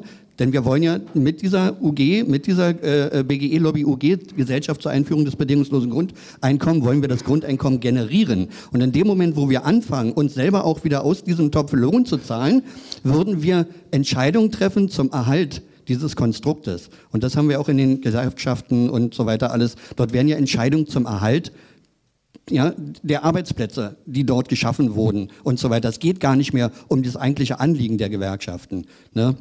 Und ansonsten kann ich immer nur wieder betonen, eben halt, wenn man etwas ändern will, und da würde ich jetzt da hinten ganz gerne darauf antworten, wenn du etwas verändern willst, geht die Veränderung immer nur von einem selber aus. Wenn man sich hinstellt und sagt, ja, die sollen doch machen, die sollen sich verändern und so weiter. Nein, ich muss einfach selber anfangen, ich muss da, damit dann anfangen zu leuchten sozusagen, ich muss damit andere motivieren, auch etwas anders zu machen. Ja, aber wenn ich mich nur immer hinstelle und sage, ja, ihr sollt etwas ändern, dann wird sich nichts ändern.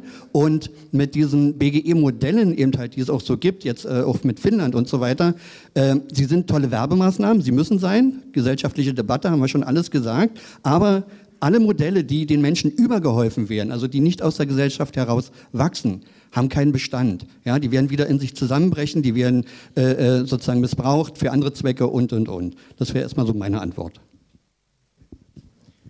Jetzt haben Sie ja ziemlich viele äh, Fragen gestellt. Also ähm, ich möchte vielleicht nur ein oder zwei Punkte aufgreifen. Der Betrag, der in der Schweiz eine Diskussion ist, der stammt ja nicht von der Volksinitiative. Da geht es nur um eine Veränderung der Bundesverfassung. Der Betrag stammt von manchen der Initianten, aber nur als Beispiel, weil die ja ausdrücklich sagen, das entscheiden sie nicht. Das ist ein Diskussionsanstoß. Und das muss das sich dann finden. Ne? Und man muss vorsichtig sein, wenn man so hochrechnet. Ne? Äh, das ist ein, ich finde, die, die, die Rechenfalle. Jetzt haben Sie ganz schnell so nebenbei gesagt, also Zürich, alleinerziehend bei meinem Kind, 4000 braucht man. Die diskutieren über 2500. So, jetzt haben Sie eine Sache nicht gesagt. Grundeinkommen, Individualprinzip. Heute reden wir immer über Haushaltsleistungen. Wenn also das so wäre, dass in der Schweiz das Grundeinkommen wegen mir 2500 Franken hätte für Erwachsene und 2000 für Kinder, ja, dann hätten sie genau diese Grenze schon überschritten. Ne? Also die Ausgestaltung. Und ich eine Lanze möchte ich brechen, äh, obwohl ich selbst äh, das von Gortz vollkommen teile. Das ist natürlich klar, dass mit der Höhe die Möglichkeiten wachsen. Das sehe ich auch so. Ne? Der Verzicht auf Erwerbstätigkeit ist natürlich nur möglich, wenn Sie von so einem Grundeinkommen auch leben könnten. Das stellt sich für alleinstehende Personen allerdings ganz anders dar, als wenn sie in einem Haushalt sind, weil die ja kumulieren, die Grundeinkommen. Da ist das viel schneller möglich, sogar bei einem niedrigeren Betrag. Ne, wenn Sie das, was jetzt äh, der Thomas Strauper wieder mal geäußert hat in Interviews, den heutigen Grundfreibetrag einer Einkommensteuer nehmen, setzen den individuell an und lassen sich den kumulieren in einem Haushalt, dann ist der für eine Einzelperson zu wenig, aber nicht für einen Haushalt von vier Personen. Und das ist interessant, das muss man unterscheiden. Ne? Also es kann sein, dass schon mit einem niedrigeren Betrag etwas in Bewegung kommt. Das muss ja gar nicht das Ende sein, aber das bewegt etwas. 800 Euro oder 750 Euro in der Tasche zu haben im Monat oder nicht, ohne sich erklären zu müssen, das ist ein ziemlich weiter Unterschied zu dem, was wir heute haben. Also selbst ein Betrag, den wir jetzt für zu niedrig erklären, der kann sehr viel bewegen. Also da ist Dynamik drin. Und ähm, ist nicht absehbar, ne, was dann daraus folgt. Ich würde das nicht verdammen zu früh sondern sagen, ja, wenn die Leute das wollen, ist das immerhin ein Schritt. Weil die müssen das ja tragen. Ne? Also eröffnet das was. Die entscheidende Hürde ist das mit der Bedingungslosigkeit. Ne? Das ist eigentlich die schwierigste Hürde. Und wenn das möglich ist, die erstmal mit so einem Betrag zu nehmen, macht das die Tür auf für anderes. Ne? Das würde ich deswegen nicht abtun. Aus einer Chance. Aber mal sehen, man weiß ja nicht, was in der Schweiz passiert. Beides, Höhe und Bedingungslosigkeit. Und äh, ich bin Vertreter der Höhe, der sagt schlicht und ergreifend, das ist der emanzipatorische Springpunkt. Und wenn der nicht erreicht ist, geht das Ding auch nach hinten los. Und es gibt ja auch, wenn, wenn Sie auf der Netzwerkseite unseres Netzwerksgrundeinkommen die verschiedenen Modelle einfach anschauen, sehen Sie genau, aus welcher politischen Couleur Vorschläge für sogenannte partielle Grundeinkommen kommen. Also niedrig 600 Euro, 700 Euro etc. bis 800 Euro und aus welcher politischen Ecke höhere Grundeinkommen kommen. 1000 Euro, 1080, was da nicht alles so gibt, schlicht und ergreifend. Und das Argument mit dem Haushalt, das kann ich nicht ganz nachvollziehen, weil es nämlich dann voraussetzt, dass dann doch wieder eine Bedingung eingebaut wird, ich muss dann in einen Haushalt mit einer Familie ziehen, um halbwegs abgesichert zu sein. Und deswegen äh, bin ich strikt, weil das vierte Kriterium individuell garantiert auch heißt, gegen solche Berechnungen, die auf Haushaltsbasis aussehen. Natürlich ich könnte dann sagen, wenn sich dann Leute zusammentun, haben sie äh, sozusagen Gewinne, Synergieeffekte. Aber das soll bitte schön ihre freie Wahl bleiben und nicht über einen ökonomischen Zwang hergestellt werden. Sie sagen, du kriegst nur 600 und du kommst aber besser, wenn du dich mit jemandem zusammentust. Hallo?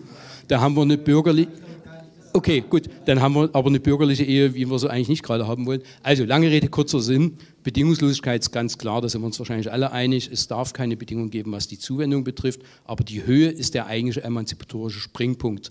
Und da kann man genau schauen, wer was, welche Absicht mit dem Grundeinkommen verfolgt und was nicht. Sie bekommen das, ich möchte aber Liebermann Also das, das finde ich jetzt so eine typische Scheindiskussion. Ne? Also ich habe ja nicht gesagt, dass Leute in Haushalte ziehen müssen, sondern ich habe gesagt, wenn auch bei so einem Betrag, der unter diesem auskömmlichen liegt, hat das den Effekt, dass Haushalte anders dastehen als Einzelpersonen. Und wenn Sie sich die Verteilung der Bevölkerung anschauen, nehmen Haushalte, weil es Familien sind, ein großes Gewicht ein. Von heute auf morgen umgedacht, würde das zum Beispiel Familien sofort die Situation verbessern. Einzelpersonen sind, viel, in, wenn sie nicht irgendwelche Sonderbedarfe haben, sondern gesund sind, natürlich auch viel beweglicher als Familien. Ne? Das heißt ja nicht, dass ich für einen niedrigen Betrag plädiere. Das äh, müssen Sie mir nicht unterschieben. Sie wissen genau, was ich vertrete. Sondern ich will nur, dass man das nicht unterschätzt. Dass man nicht unterschätzt, dass auch ein solcher Betrag sehr viel bewegen kann. Und ob, wie das ausgeht nachher, das entscheiden doch nicht wir auf dem Podium, weil wir gute Argumente haben sondern das entscheiden die Leute, was sie haben wollen. Ob, das, ob sie das emanzipatorisch nennen oder nicht, das spielt auch überhaupt keine Rolle. Die Frage ist, was wollen die Leute haben? Und welche Effekte hat das dann im Verhältnis zu heute? Ist jeder Betrag natürlich, wenn er jetzt nicht bei 200 Euro liegt, ne, also sowas, das ist ja lächerlich, ein Betrag auf der Höhe des Grundfreibetrags natürlich ein Schritt nach vorne. Heißt nicht, dass man da bleibt. Ne? Wer da bleiben will, bleibt da. Wer nicht, muss weitergehen.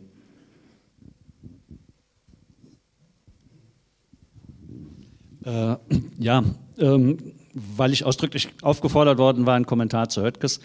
Äh, ja, mag sein, dass das äh, ein Teil des Unternehmensinteresses und auch des, äh, des Interesses der konkreten Person ist. Äh, trotzdem bleibt erstaunlich, dass er sagt, er will das Grundeinkommen aus den Gewinnen der Unternehmen finanzieren. Äh, wenn äh, da auch Vorschläge sind, ähm, zum Beispiel eben der von Götz Werner, das Grundeinkommen ausdrücklich nicht aus den Gewinnen der Unternehmen zu finanzieren. Das bleibt der Punkt, der mich gewundert hat. Ansonsten ähm, kann ich da vielem folgen. Wo ich nicht folgen kann, ist, ähm, dass man eine Zuteilung von äh, Erwerbsarbeitszeit äh, machen muss und eine lange Debatte um die gerechte Verteilung der Erwerbsarbeitszeit machen muss, wenn man ein bedingungsloses Grundeinkommen hat. Solange man das nicht hat, ist die Frage der Arbeitszeit auch der gesellschaftlichen, äh, der, der erlaubten Höchstarbeitszeit, der, Wochen, der regelmäßigen Wochenarbeitszeit, äh, von Arbeitszeitkonten und Jahresarbeitszeit, sind das alles wichtige Fragen. Wenn man ein bedingungsloses Grundeinkommen hat, hat jede Person die Möglichkeit, individuell ihre Arbeitszeit zu verkürzen. Und das geschieht auch. Also der beste Weg, um zu Arbeitszeitverkürzungen zu kommen und der schnellste Weg, um zu Arbeitszeitverkürzungen im gesellschaftlichen Durchschnitt zu kommen, ist die Einführung eines bedingungslosen Grundeinkommens. Also da muss man schon den Zusammenhang dann auch sehen. Äh, ich bin auch nicht ganz einverstanden ähm, mit äh, ach ne, zu der, zu der Frage, um das ganz abzuarbeiten, da war noch der Punkt mit der äh, Produktivitätsdividende, die dabei rauskommt. Ja, selbstverständlich. Ähm, selbstverständlich, in dem Augenblick, wo man ein bedingungsloses Grundeinkommen hat, haben die Leute die Möglichkeit, die Dinge zu tun, die sie besonders gut können und besonders gerne mögen. Und die werden sie ähm, produktiver und kreativer und erfolgreicher tun als die Dinge, die sie nicht gerne mögen. Das ist überhaupt keine Frage. Natürlich wird ein bedingungsloses Grundeinkommen einen Schub von Produktivität auslösen und von Kreativität. Ob das eine Produktivität an den Punkten ist, die wir heute gesellschaftlich für vorrangig halten, das ist eine ganz andere Frage. Also in welche äh, Bereiche das fließt, kann man nicht sagen. Aber dass es eine größere Produktivität geben wird, das steht fest. Ähm, was äh, ich noch anmerken will, den anderen Punkt schenke ich mir, was ich noch einfach kurz erzählen will, ist eine Geschichte, die ich immer wieder in meinen Vorträgen erzähle, die so real passiert ist. IG Metall, Bundesbildungsstätte in Sprockhövel, ähm, 24 Betriebsratskollegen von VW, also ganz genau gesagt 22 Kollegen und zwei Kolleginnen. Und ich hatte die Möglichkeit, zehn Jahre her, was mehr als zehn Jahre, mit denen einen ganzen Tag zum Thema Grundeinkommen zu arbeiten. Um die nicht morgens früh schon zu verschrecken, habe ich nicht von Grundeinkommen gesprochen, sondern gesagt, stellt euch vor, ihr habt im Lotto gewonnen, eine Rente, lebenslang, inflationsausgeglichen. Ab heute steht ja dein ganzes Leben, jeden Monat die Kaufkraft von heute 1000 Euro zur Verfügung. Was würdest du in deinem Leben ändern? Schreib mal bitte einen Punkt auf eine Karte. Und es ist kein Zufall, dass ich eine Karte zurückbekam, auf der stand, ich würde mich scheiden lassen.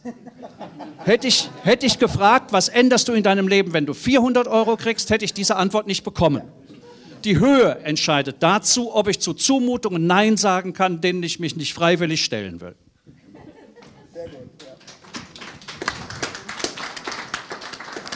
Ja, ganz herzlichen Dank. Das stützt ja meine Erzählung äh, aus den USA. Also große gesellschaftliche Schwierigkeiten kommen auf uns zu. Das sehe ich kommen. Äh, gibt es weitere Fragen oder Anmerkungen? Bitte schön. Ja, äh, ich wollte noch mal gerne auf das Thema zurückkommen. Wir sind ja hier bei einer Veranstaltung der Piratenpartei. Es ist ja eine BGE-Themenwoche, die lautet äh, Grundeinkommen und die Industrie von morgen. Und ich darf mich noch kurz vorstellen. Mein Name ist Gernot Reipen. Ich bin Koordinator der Arbeitsgemeinschaft Bedingungsloses Grundeinkommen und auch Themenbeauftragter der Piratenpartei für Sozialpolitik. Und meine Frage geht an die Runde, aber zuerst auch nochmal an Herrn Liebermann. Herr Liebermann äh, betreibt einen Blog und er hat auch diese BGE-Themenwoche angekündigt, was ich sehr schön fand. Und er hat natürlich auch diese kleine Kritik geäußert, die er eben am Rande schon ähm, vorgestellt hat. Nämlich er sagt ja, wenn wir das BGE abhängig machen von der Arbeitswelt und die Arbeitswelt verändert sich, dann wäre ja das BGE eventuell wieder obsolet. Also würde dann nicht mehr funktionieren oder brauchte man nicht äh, umzusetzen. Ähm, wir haben uns in der Arbeitsgruppe sehr intensiv mit dieser Themenwoche beschäftigt und uns ist aufgefallen, dass wir ja eigentlich in der menschlichen Geschichte auch eine Art Evolution vollziehen. Wir leben ja nicht mehr äh, als Ackerbauer und Viehzüchter. Wir haben vier industrielle Revolutionen durchlebt. Und bei jeder dieser industriellen Revolutionen hat es für die Menschheit bestimmte Vorteile gegeben, die wir heute nicht mehr missen würden, die wir auch gar nicht mehr abschaffen würden. Zum Beispiel die Fortzahlung im Krankheitsfall, äh, Krankenversicherung, Rentenversicherung. Das sind ja alles Elemente, die nur dadurch zustande gekommen sind, weil sich die Lebensbedingungen innerhalb einer industriellen Gesellschaft verändert hat. Und wir sind der Überzeugung, und deswegen jetzt die Frage an die, an die Runde, wir sind nämlich der Überzeugung in unserer Arbeitsgruppe, dass das Grundeinkommen der nächste Schritt in unserer kulturellen, gesellschaftlichen Evolution darstellt. Es ist genauso ein Schritt wie damals das allgemeine Wahlrecht, wie die Emanzipation. Auch die Emanzipation musste erstritten, erkämpft werden. Ich kann mich erinnern, dass um die Jahrhundertwende um 1900, wenn Frauen studieren wollten, dass sie noch beim Professor vorstellen mussten und der musste dann noch begutachten, ob sie geeignet ist. Aber das ist heute alles gang und gäbe, da diskutieren wir nicht mehr darüber. Und ich wollte die Runde darauf nochmal zurückführen. Glauben Sie auch, dass das, was wir jetzt mit dem bedingungslosen Grundeinkommen fordern, dass das eigentlich die nächste Hürde, der nächste Schritt ist in unserer gesellschaftlichen Evolution. Äh, warum bin jetzt ich ausdrücklich angesprochen? Sie hatten kritisiert, dass wenn wir das auf die Arbeitswelt Ah, oh, gut. Mhm. Ich komme zeitlich begrenzt. Ach so, ja, aber äh, äh, das widerspricht jetzt gar nicht dem anderen, was Sie gesagt haben. Also das Argument, auf das Sie sich, das Sie beziehen, das habe ich ja vorhin schon mal genannt. Das geht nur darum, dass man das miteinander verkoppelt als Notwendigkeit. Das ist in der Diskussion über Digitalisierung sehr häufig. Und wenn man das miteinander verkoppelt, das eine reagiert auf das andere gewissermaßen, dann müssen Sie, wenn der, der Grund für das eine weg ist, das andere auch beseitigen. Ne? So, die Gefahr würde dann bestehen, ne? weil man es nur als ein, eine Reaktion betrachtet, das Grundeinkommen. Davon würde ich es ganz ablösen. Das andere, was Sie gesagt haben, ja, das ist interessant, was da passiert. Äh, ich sehe das auch so. Ne? Also was da genau jetzt mit der Digitalisierung auf uns zukommt, das weiß ja keiner so genau. Ne? Es bietet viele Möglichkeiten, teils durchaus Schreckensszenarien. Ne? Also die, der Technokratismus, der darin auch verborgen ist, die Technikgläubigkeit, was die nicht alles leisten kann, die Seite hat es ja auch, aber es bietet viele Möglichkeiten. Für mich ist das Grundeinkommen aber gar nicht deswegen äh, äh, so drängend, sondern für mich ist ganz klar, wenn man sich die Demokratien anschaut, westlicher, äh, westlichen Charakters, dann ist das Grundeinkommen in seiner Bedingungslosigkeit darin angelegt. Sie müssen nur das, was Herr Blaschke vorhin mit dem Souverän meinte, mal weiterdenken. Diese Stellung haben doch die Staatsbürger im Gemeinwesen in einer bedingungslosen Form. Diese Rechte werden ihnen nicht genommen, die können ihnen nicht genommen werden. Das macht ja die, die westliche Demokratie aus. Wenn Sie jetzt sich fragen, was braucht man dann für einen Sozialstaat, damit er dem gemäß ist, dann brauchen Sie einen, der genau diese Sicherung der Existenz unabhängig davon macht, also was das Einkommen betrifft, dass jemand etwas tut. Dann muss es dieselbe Bedingungslosigkeit sein, die in den Demokratien ja der Urgrund ist gewissermaßen. Also ist das Grundeinkommen schlicht eine Fortentwicklung von der Seite. Ob Digitalisierung oder nicht, spielt im Grunde keine Rolle. Die kann nur Wasser auf die Mühlen noch sein oder auch nicht. Aber von der Demokratie ausgedacht ist das, das steht vor der Tür. Wir leben in einem Widerspruch, was das betrifft. Auf der einen Seite sagen wir, ne, Grundgesetz, souverän, alle Macht geht vom Volke aus, aber nur, wenn ihr erwerbstätig seid. Um das mal jetzt mal polemisch zuzuspitzen. Wir denken erwerbstätigen Gesellschaft, aber der politische Rahmen, das ist keine erwerbstätigen Gesellschaft, die Rechte, die wir da haben. Die sind nicht abhängig von Leistungen. So, und in dem Widerspruch leben wir und den müsste man, der muss eigentlich nur mal bemerkt werden. Und dann im Sinne von, ist das eigentlich richtig, dass wir das so noch machen? Also diese Frage, warum halten die Leute so fest an der Vorstellung, man muss erwerbstätig sein, damit man was leistet. Wobei doch die größten Leistungen heute schon, also wenn man das mal versucht zu quantifizieren, jenseits davon erbracht werden. Als Vorleistung. Ne? Das ist ja auch kalter Kaffee eigentlich, ne? diese Diskussion ne? über Haushaltstätigkeiten. Die sind viel umfangreicher auch als Ehrenamt. Ne? Also Fortentwicklung der Demokratie ist das. Das ist praktisch drängend. Das hat nämlich was mit der Glaubwürdigkeit der Demokratie zu tun. Und wir erleben ja gerade, wenn wir jetzt mal die Flüchtlingssituation hier als Beispiel nehmen, wie unsouverän wir sind. Wir wissen eigentlich nicht, was wir wollen. Das merkt man doch da ganz deutlich. Stur wird festgehalten an einem Programm, ne, wie kürzlich wieder von der Bundeskanzlerin, statt mal zu sehen, was bewegt denn die Leute eigentlich. Das muss man doch ernst nehmen. Sorgen sollte man ernst nehmen. Sonst gräbt eine Demokratie sich das Wasser ab. Und da gehört das Grundeinkommen auch dazu. Und das würde ja die Situation heute erheblich verändern. Ne? Schon, wenn man sich das mal vorstellt. Die ganzen Leute, die da ehrenamtlich helfen. In den kleinen Gemeinden auf dem Land ist das viel sichtbarer als in der Stadt wie stark das ist. Kindergärten belegt werden mit Flüchtlingen, Turnhallen mit Flüchtlingen belegt sind. Wo sie, die sehen sie immer, ja, in den kleinen Ortschaften. In der Stadt gehen die unter. Ne? Da kann man meinen, oh ja, gut, ja, sind das doch nicht so viele. Ne? Doch, doch, es sind viele. Und die Leute machen viel. Aber ohne Grundeinkommen. Mit Grundeinkommen wäre das einfacher und wir würden anders drüber denken.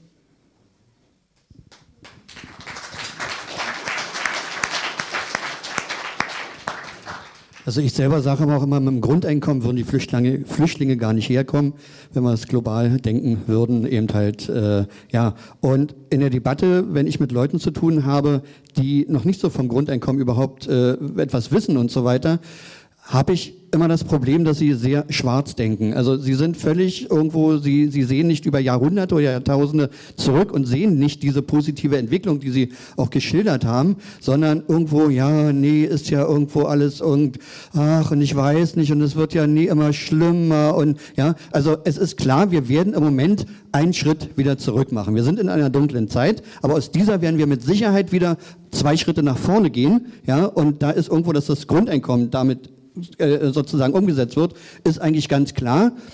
Meine Angst nur ist eine ganz große, ich habe Angst, dass es wieder eine Revolution geben wird, also dass es wieder Gewalt geben wird. Und ich möchte ganz gerne, so wie ich das als Kind und, oder als Jugendlicher mitbekommen habe, die ganze Dynamik, wie es sich entwickelt hat, ich möchte ganz gerne eine Wende haben. Eine friedliche Wende, die vom Volke ausgeht, die von der Basis ausgeht, dass wir sagen, so wie wir, so wie es, wo es jetzt hinläuft wieder, auf diese ganze äh, äh Kriegstreiberei und so weiter, wenn ich das sehe, dass an, an, an so einem äh, äh, Haltestellenschild eine Werbung ist von der Bundeswehr, ja, die dafür wirbt, kommt zu uns, äh, kannst du hier schöne Abenteuer haben und so weiter. Grauenvoll, ja, also diese Rückwärtsentwicklung eben halt. Ne? Und äh, da ist für mich dieses Grundeinkommen, dieses, diese positive Energie, die da drin steckt, für mich die ganz logische Konsequenz als das nächste, was kommt. Frage ist nur, wird es vorher eine Gewalt, eben halt eine gewaltsame Auseinandersetzung oder schaffen wir die Wende?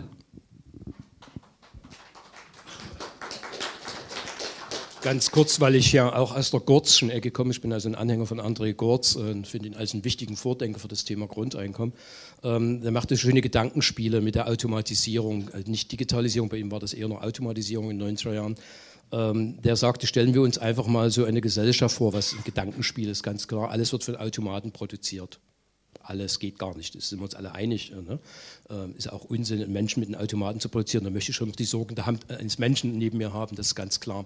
Aber dieses Gedankenspiel, wir würden trotzdem, wir hätten alles da, alles, was wir bräuchten, vom Kühlschrank bis zur Banane und bis zum Bier.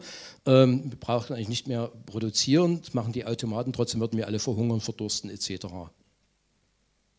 Das ist das sogenannte Paradiesparadoxon von Wassili Leontiev, National, äh, Quatsch, ein Wirtschaftsnobelpreisträger, der einfach damit begründet, und jetzt wird das Interessante für mich bei der ganzen Debatte über, das, über die Automatisierung, ähm, der damit begründet, dass wir eine ganz andere Form von Distribution denken müssen.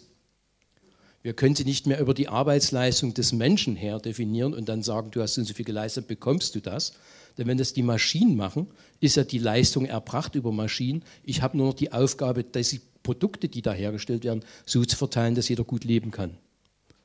Das ist das Paradiesparadoxon. Das heißt, ich entkopple quasi die Distribution ein Stück weit von der Produktionsebene. Das ist der eine Zugang, der mich reizt, über das Thema Automatisierung nachzudenken. Und das andere Thema ist, dass in einer automatisierten Gesellschaft de facto eine wirklich hochgradig vernetzte kollektive Wissensgesellschaft entsteht. Weil das Produkt einzeln ist nicht mit dem einzelnen Menschen zurechenbar, sondern durch eine weltweit verknüpfte Community, die Produkte entwickelt. Kreativ gemeinsam neue Designs entwirft, neue äh, Technologien entdeckt und so weiter. Das sind kollektive Leistungen. Auch von dieser Seite her betrachtet ist die, die individuelle Zuschreibung dessen, was ich geleistet habe, überhaupt nicht mehr möglich. Da kommen dann solche Leute wie Michael Hart und Antonio Negri die, in die Debatte hinein und sagen, das ist gar nicht mehr machbar mit der klassischen Wert- und Arbeitszeit- oder Wertschöpfungstheorie zu erklären, wie Menschen Leistung erbringen, wonach sie eigentlich bezahlt werden sollen. Das sind für mich eigentlich die über das platte Thema, ähm, sagen wir haben jetzt Digitalisierung und uns gehen die Arbeitsplätze aus, ein Stück weit theoretisch darüber hinaus gedacht. Und dort denke ich, dort kann man anknüpfen, ohne und da sind wir uns wahrscheinlich schon fast, fast alle, alle einig, das miteinander zwingend zu verknüpfen und sagen, weil das so ist, müssen wir das so machen. Nein, das beschleunigt die Debatte, weil es gibt andere gute Gründe, das auch ohne diese Debatte zu führen in Richtung Grundeinkommen. Wir hatten ja mehrere Argumente genannt. Ich wiederhole nochmal Paradiesparadoxon, demokratische Distribution andenken, ohne jegliche Leistungszuschreibungsmöglichkeit und einfach zu sagen, ist überhaupt individuelle Leistungszuschreibung noch möglich in unserer heutigen Welt? Das sind für mich die entscheidenden Punkte bei dem Thema Automatisierung. Ja, da äh, glaube ich, kommen ein paar Dinge zusammen. Also Sascha Liebermann hat darauf hingewiesen, äh, und das halte ich für ganz, ganz wichtig, dass ein äh, erheblicher Teil der gesellschaftlich notwendigen Dinge außerhalb der Erwerbsarbeitszeit getan werden. Äh, ein erheblicher Teil der gesellschaftlichen Produktivität findet nicht in der Erwerbsarbeit statt. Ähm, Roland, Ronald hat darauf hingewiesen, dass die äh, individuelle Zuordnung äh, einer produktiven Leistung äh, bei ganz vielen Produkten und Tätigkeiten überhaupt nicht mehr funktioniert. Das ist ganz sicher richtig, das ist der, aber nur ein Punkt an dieser Stelle. Der andere ist ja, ähm, dass ganz viele Menschen aufgrund der konkreten Bedingungen am Arbeitsmarkt, zumindest heute, mag sein, dass sich das irgendwann noch mal ändert, ist im Augenblick aber nicht absehbar. Zumindest heute befinden sich ganz viele Menschen am Arbeitsmarkt in der Situation, wo sie eine Leistung, die sie dort gerne produktiv erbringen würden, gar nicht erbringen können, weil die Bedingungen das nicht zulassen. Ähm, also äh, Menschen durch eine gesellschaftlich organisierte Gewaltstruktur daran gehindert werden, zu einer bestimmten Produktivität einen Zugang zu bekommen, eine bestimmte Produktivität leisten zu dürfen. Also es gibt auf dieser Ebene ganz viele, äh, ganz viele Ebenen, die zeigen, dass eine ähm, Verbindung individueller Leistung mit der Idee des Einkommens überhaupt nicht funktioniert. Aus ganz unterschiedlichen Gründen, auf ganz unterschiedlichen Ebenen überhaupt nicht funktioniert. Äh, ohne jetzt aus diesen Analysen des Arbeitsmarktes die Folgerung zu ziehen und deshalb brauchen wir ein Grundeinkommen, führt trotzdem diese Sicht, diese Gesamtsicht auf die ökonomische Situation der Arbeits, äh, der, des Arbeitens dazu, dass man die Einsicht haben muss, ähm, soziale Sicherheit kann nicht von diesen Arbeitsverhältnissen abhängig gemacht werden. Soziale Sicherheit muss etwas sein, das gesellschaftlich organisiert wird und nicht durch die individuelle Stellung in den Arbeitsverhältnissen. Das war immer schon eine sonderbare Idee, ähm, die soziale Sicherheit an die Arbeitsverhältnisse zu knüpfen. Und es war immer auch eine Idee, äh, auf die nur ein bestimmter Teil der Menschheit kommen konnte. Das gestehen wir uns ja nicht wirklich ein. Gernot hat es angedeutet, als er über die Hochschulen gesprochen hat. Tatsächlich war es in der BRD, also im äh, der alten BRD so, dass 1973 das Gesetz abgeschafft worden ist, das bei verheirateten Frauen vorsah, dass der Ehemann den Arbeitsvertrag unterschreibt. Ja? 1973. Bis dahin konnten verheiratete Frauen nur arbeiten, rechtlich, das wurde manchmal oft nicht, nicht eingehalten, aber rechtlich nur arbeiten, wenn der Ehemann zustimmt. Also dieser Sozialstaat, der alle Menschen aufgrund ihrer Arbeitstätigkeit abgesichert hat, war immer nur ein Sozialstaat für weiße Männer, für weiße mitteleuropäische und nordamerikanische Männer, für sonst niemanden auf der ganzen Welt. Das muss man sich einfach bewusst machen, dass das immer schon eine Fiktion war, dass aus der Stellung im Erwerbsarbeitsprozess soziale Sicherheit für alle entstehen kann. Soziale Sicherheit für alle kann man nur gesellschaftlich organisieren. Und natürlich stimme ich na, Liebermann vollkommen und einschränkungslos zu. Man kann sie nur organisieren als wirtschaftsbürgerliches Grundrecht. So wie es ein staatsbürgerliches Grundrecht ist, zu wählen, ist es ein wirtschaftsbürgerliches Grundrecht, versorgt zu sein. Und das hat überhaupt nichts damit zu tun, was man tut oder lässt. Auch das Wahlrecht ist nicht davon abhängig, ob man klug oder dumm ist in politischen Fragen. Man wird sich das manchmal wünschen, aber das ist was anderes. Stimme ich Ihnen, stimme ich Ihnen zu. So, gibt es weitere Fragen aus dem Publikum? Ja, schönen guten Abend. Mein Name ist Karl-Heinz Drach. Ich bin Mitglied der Piratenpartei. Und ähm, wenn ich die Diskussion so richtig verfolgt habe, wird ja Arbeit und Einkommen oder Einkommen und Arbeit immer wieder verknüpft. Dabei ver vergessen wir eigentlich ganz, dass es ja schon Milliardeneinkommen gibt, die ohne Arbeit erzielt werden. Ich denke da an die Erbengesellschaft, aber ich denke auch an die Zinsen, die man erwirtschaftet durch Anlegen von Geld. Äh, und ich habe noch nie einen Bankdirektor gehört, der gesagt hat, die Zinsen kriegst du aber nur, wenn du mir auch die Schalterhalle kehrst. Also äh, es gibt Einkommen ohne Arbeit. Das ist kein Grundeinkommen, das will ich damit deutlich sagen.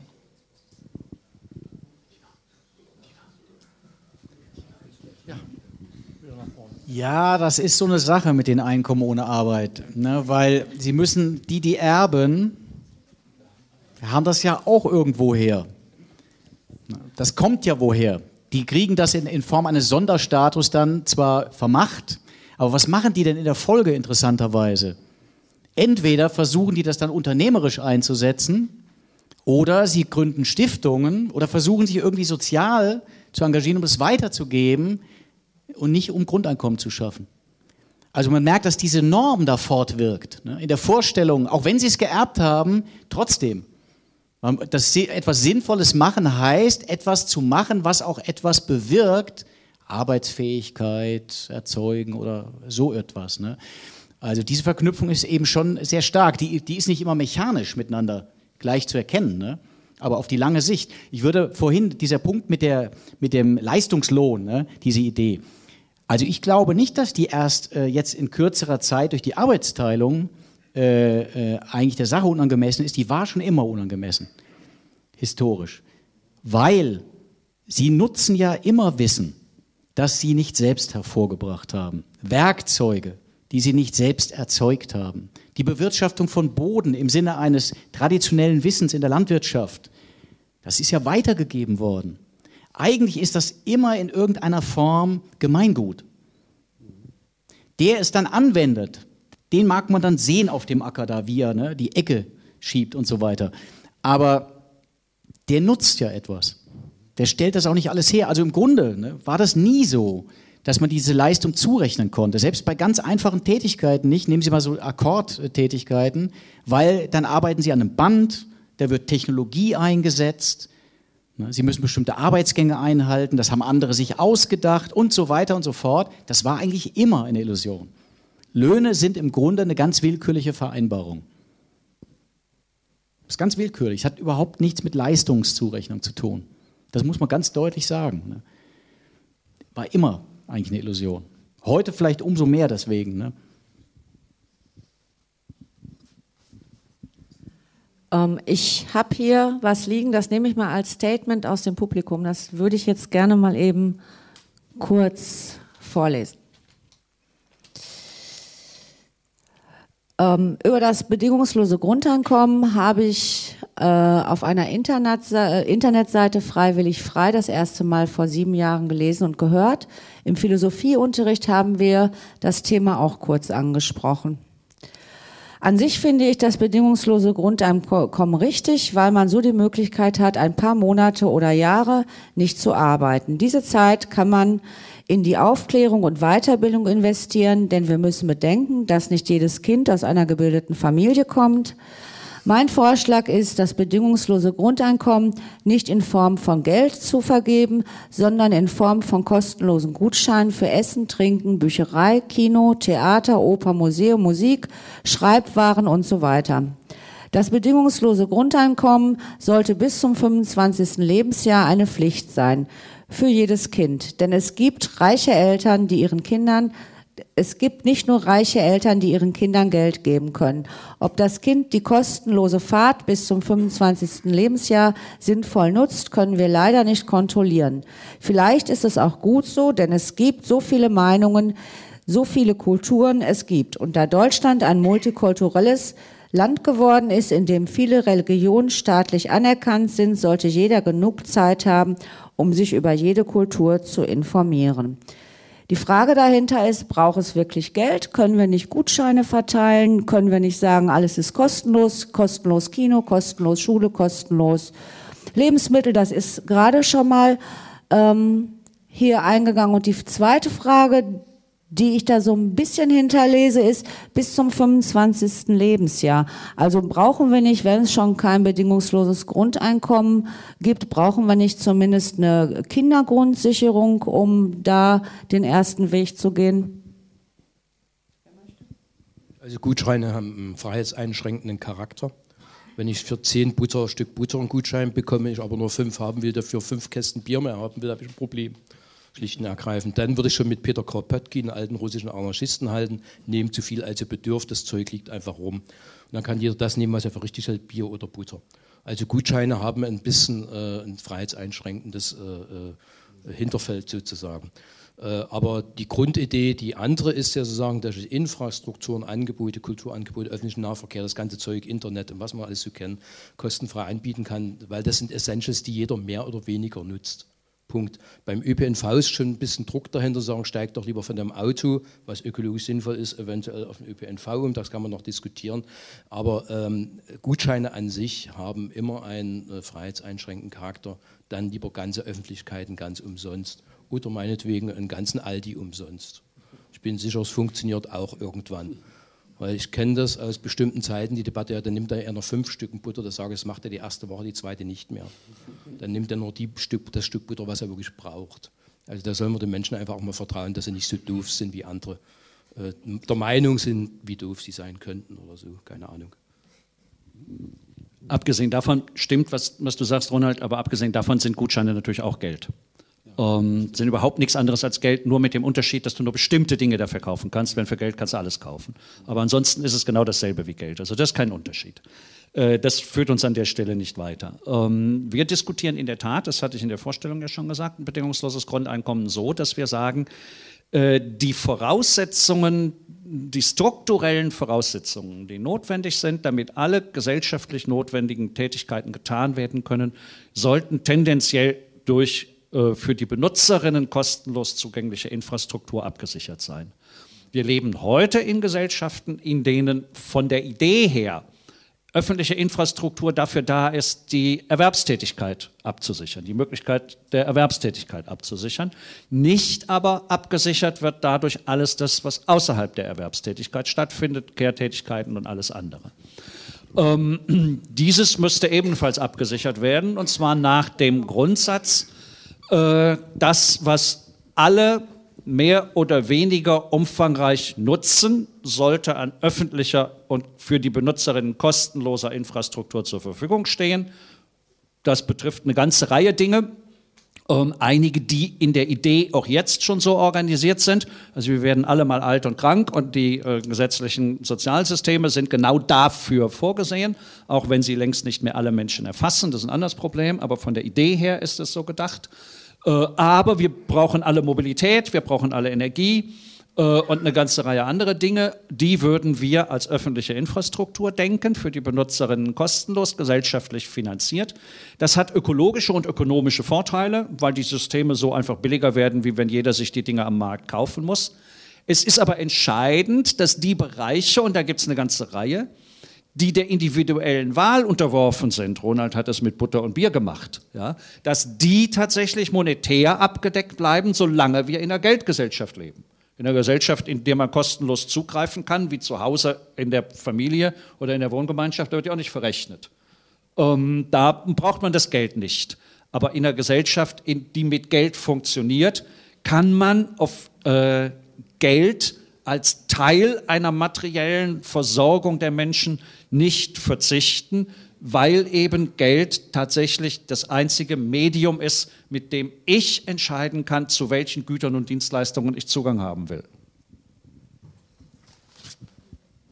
Ich würde mal darauf noch ganz kurz sagen, wir haben auch in der Gesellschaft ein großes Problem, dass wir alle hochtraumatisiert sind eigentlich von dem, was uns die Gesellschaft schon angetan hat, beziehungsweise was wir uns alle gegenseitig antun. Und daraus heraus fehlt uns allen das Grund- beziehungsweise Urvertrauen in den Menschen.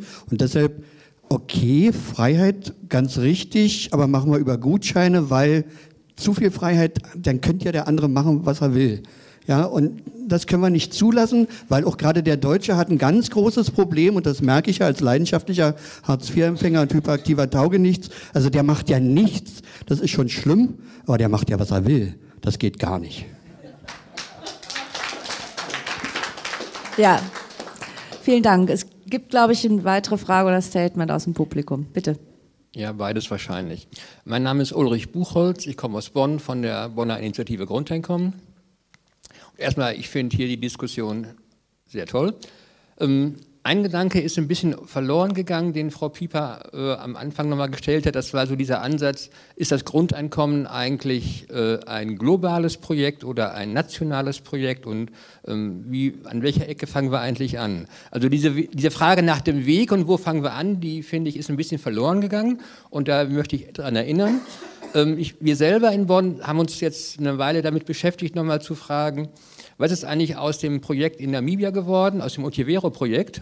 Äh, wir hatten mal dazu eine Ausstellung gemacht, die haben wir jetzt aktualisiert und äh, in dem Kontext bin ich nochmal auf dieses Zitat gestoßen, dass das äh, Big, wie es da heißt, ein kleines Projekt für, für ist, dass es aber auch für Namibia sein soll und danach für die ganze Welt. Also das habe ich für mich so übersetzt, das ist ein Gedanke, das Grundeinkommen, oder ein Gedanke, den man im Kopf immer ja, ganz groß denken muss, sowohl da, wo man ist, als auch für die ganze Welt oder auch für die EU. Ähm, aber trotzdem muss man ja irgendwie äh, die Kurve kriegen zum nächsten Schritt. Und ähm, da finde ich, was der Herr Liebermann gesagt hat, äh, dass man da, wo man ist, auch besser anfangen kann, weil man die Situation besser kennt, die Verhältnisse kennt und mehr Einfluss hat. Äh, das finde ich erstmal naheliegend. Und für mich ist das auch eher der Ansatz, da zu arbeiten, wo, wo ich mich auskenne oder wo ich die Dinge, die vorhanden sind, als Instrumente oder als Beteiligungsmöglichkeiten nutzen kann. Aber das ist mehr so meine, meine Sicht auch. Und äh, nebenbei noch die Botschaft, wir haben da diese äh, etwas ältere Ausstellung über dieses charmante Projekt wieder aktualisiert. Und äh, die Frage jetzt an das Podium ähm, nach dem Weg. Also wie, sieht, wie sehen Sie dann äh, diese Frage nach äh, national, global oder wo anfangen? Oder was ist sozusagen der Weg, den Sie sich vorstellen? Äh, das würde mich noch richtig zufrieden machen, wenn da noch ein bisschen mehr kommen würde. Dankeschön. Michelle, du hattest dich gemeldet. Passt das dazu oder in einer nächsten Runde? Okay, dann gebe ich das Mikro mal einmal rum. Ja gut, ich hatte in der äh, ersten Wortmeldung dazu ja schon ein bisschen was gesagt und Sascha Liebermann hat tendenziell eher ähm, gesagt, das ist zu utopisch. Äh, ich glaube, dass man ein bedingungsloses Grundeinkommen nur als globales Projekt denken kann. Ähm, ich bin da ganz bei Corinna Milborn, einer österreichischen Journalistin, äh, die sich in äh, einem der ersten Bücher, das ich zum Thema Grundeinkommen gemacht habe, 2007, ähm, genau so geäußert hat, und zwar mit dem Argument, wer ein Grundeinkommen national denkt, vergisst die Tatsache der Migration. Ähm, Menschen bewegen sich auf dem Globus hin und her, äh, aus Gründen der Not und des Zwangs, aber auch aus Gründen, äh, ein besseres Leben zu suchen. Äh, und das ist gut und richtig so, dass Menschen dies tun und dass sie dies tun können und dürfen. Ähm, und ähm, ein, äh, solche, eine solche Welt ist dauerhaft äh, und ernsthaft nur vorstellbar, wenn die Lebensbedingungen weltweit auch in etwa ähnlich sind. Eine massiv nach arm und reich gespaltene Welt äh, wird gar nicht umhin kommen, entweder äh, mit Migrationsbewegungen umzugehen, die so groß sind, dass man damit nicht umgehen kann, äh, oder ähm, tödliche Mauern zu errichten, gegen die äh, diejenigen, die du in deiner Jugend noch erlebt hast, äh, sich anfühlen wie Kindergartenzäune. Ähm, das erleben wir ja aktuell. Genau das erleben wir ja aktuell, wie um die Europäische Union herum jährlich viele tausend Menschen zu Tode kommen, äh, von denen man nichts anderes sagen kann, als dass sie ermordet werden, auch wenn dann niemand aktiv steht und schießt. Äh, wer dies nicht will, muss überlegen, wie ein bedingungsloses Grundeinkommen als globales Projekt äh, in Szene, in, den, in Gang gesetzt werden kann. Es gibt dafür Überlegungen, es gibt Ansätze. Das namibianische Projekt ist genau ein Element in einem solchen Konzept. Ähm, als äh, Basic Food Income in der internationalen Debatte durchaus auch präsent, also als Mindesteinkommen gegen den Hunger. Ähm, die Idee dabei ist, mit äh, in einem ersten Schritt sehr kleinen Geldbeträgen zumindest alle Menschen mit einer materiellen Basis auszustatten, die dafür reicht, dass sie sich satt essen können. Dies ist schon mal ein allererster wichtiger Schritt äh, dafür, dass Menschen dort weiterleben können, wo sie bisher gelebt haben und wo sie leben möchten und wo sie bleiben möchten, dass nur noch die gehen, die das aus freien Stücken tun und niemand aus Not und Druck. Ähm, und ähm, unsere Attac-Mitgliedsorganisation FIAN, äh, ein internationales Netzwerk, äh, das sich mit dem Problem des Hungers befasst, äh, hat äh, schon vor langer Zeit auf der Basis der Zahlen von 2006 äh, dieses Projekt mal global durchgerechnet. Mal ausgerechnet, was wird das kosten, wenn man das macht, wenn man überall auf der Welt jedem Menschen so viel Geld gibt, dass er sich satt essen kann unter den gegebenen Bedingungen. Und die sind damals zu dem Ergebnis gekommen, wenn man in jedem Land erwartet, dass es ein Prozent seines Bruttoinlandprodukts für ein solches Projekt ausgibt, für ein solches Basic Food Income, dann müsste man den ärmsten Ländern helfen in einer Höhe von 0,24 Prozent des Bruttoinlandprodukts der OECD-Länder. Ich habe mich nicht versprochen. 0,24 Prozent des Bruttoinlandprodukts der OECD-Länder. Den Hunger kann man aus der Portokasse abschaffen. Und Jacques Chirac hat 2004 ähm, nach dem Tsunami einen wunderschönen Vorschlag gemacht, wie man das finanziert. Der hat das nach drei Tagen dann zurückgezogen, weil er Druck von seinen Präsidenten und äh, Kanzlerkollegen und Kolleginnen bekommen hat.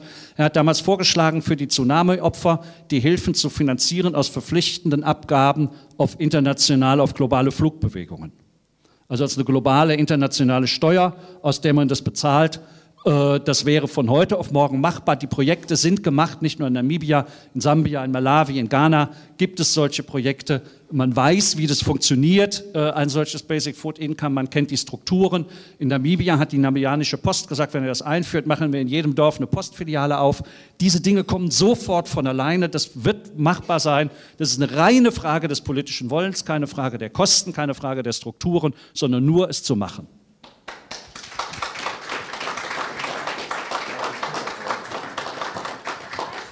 Ja, man könnte jetzt sagen, ja eben, ne? politisches Wollen. Ja, also das andere sind ja einfach Spielereien mit dem Rechnen, ne? das ist klar. Ja?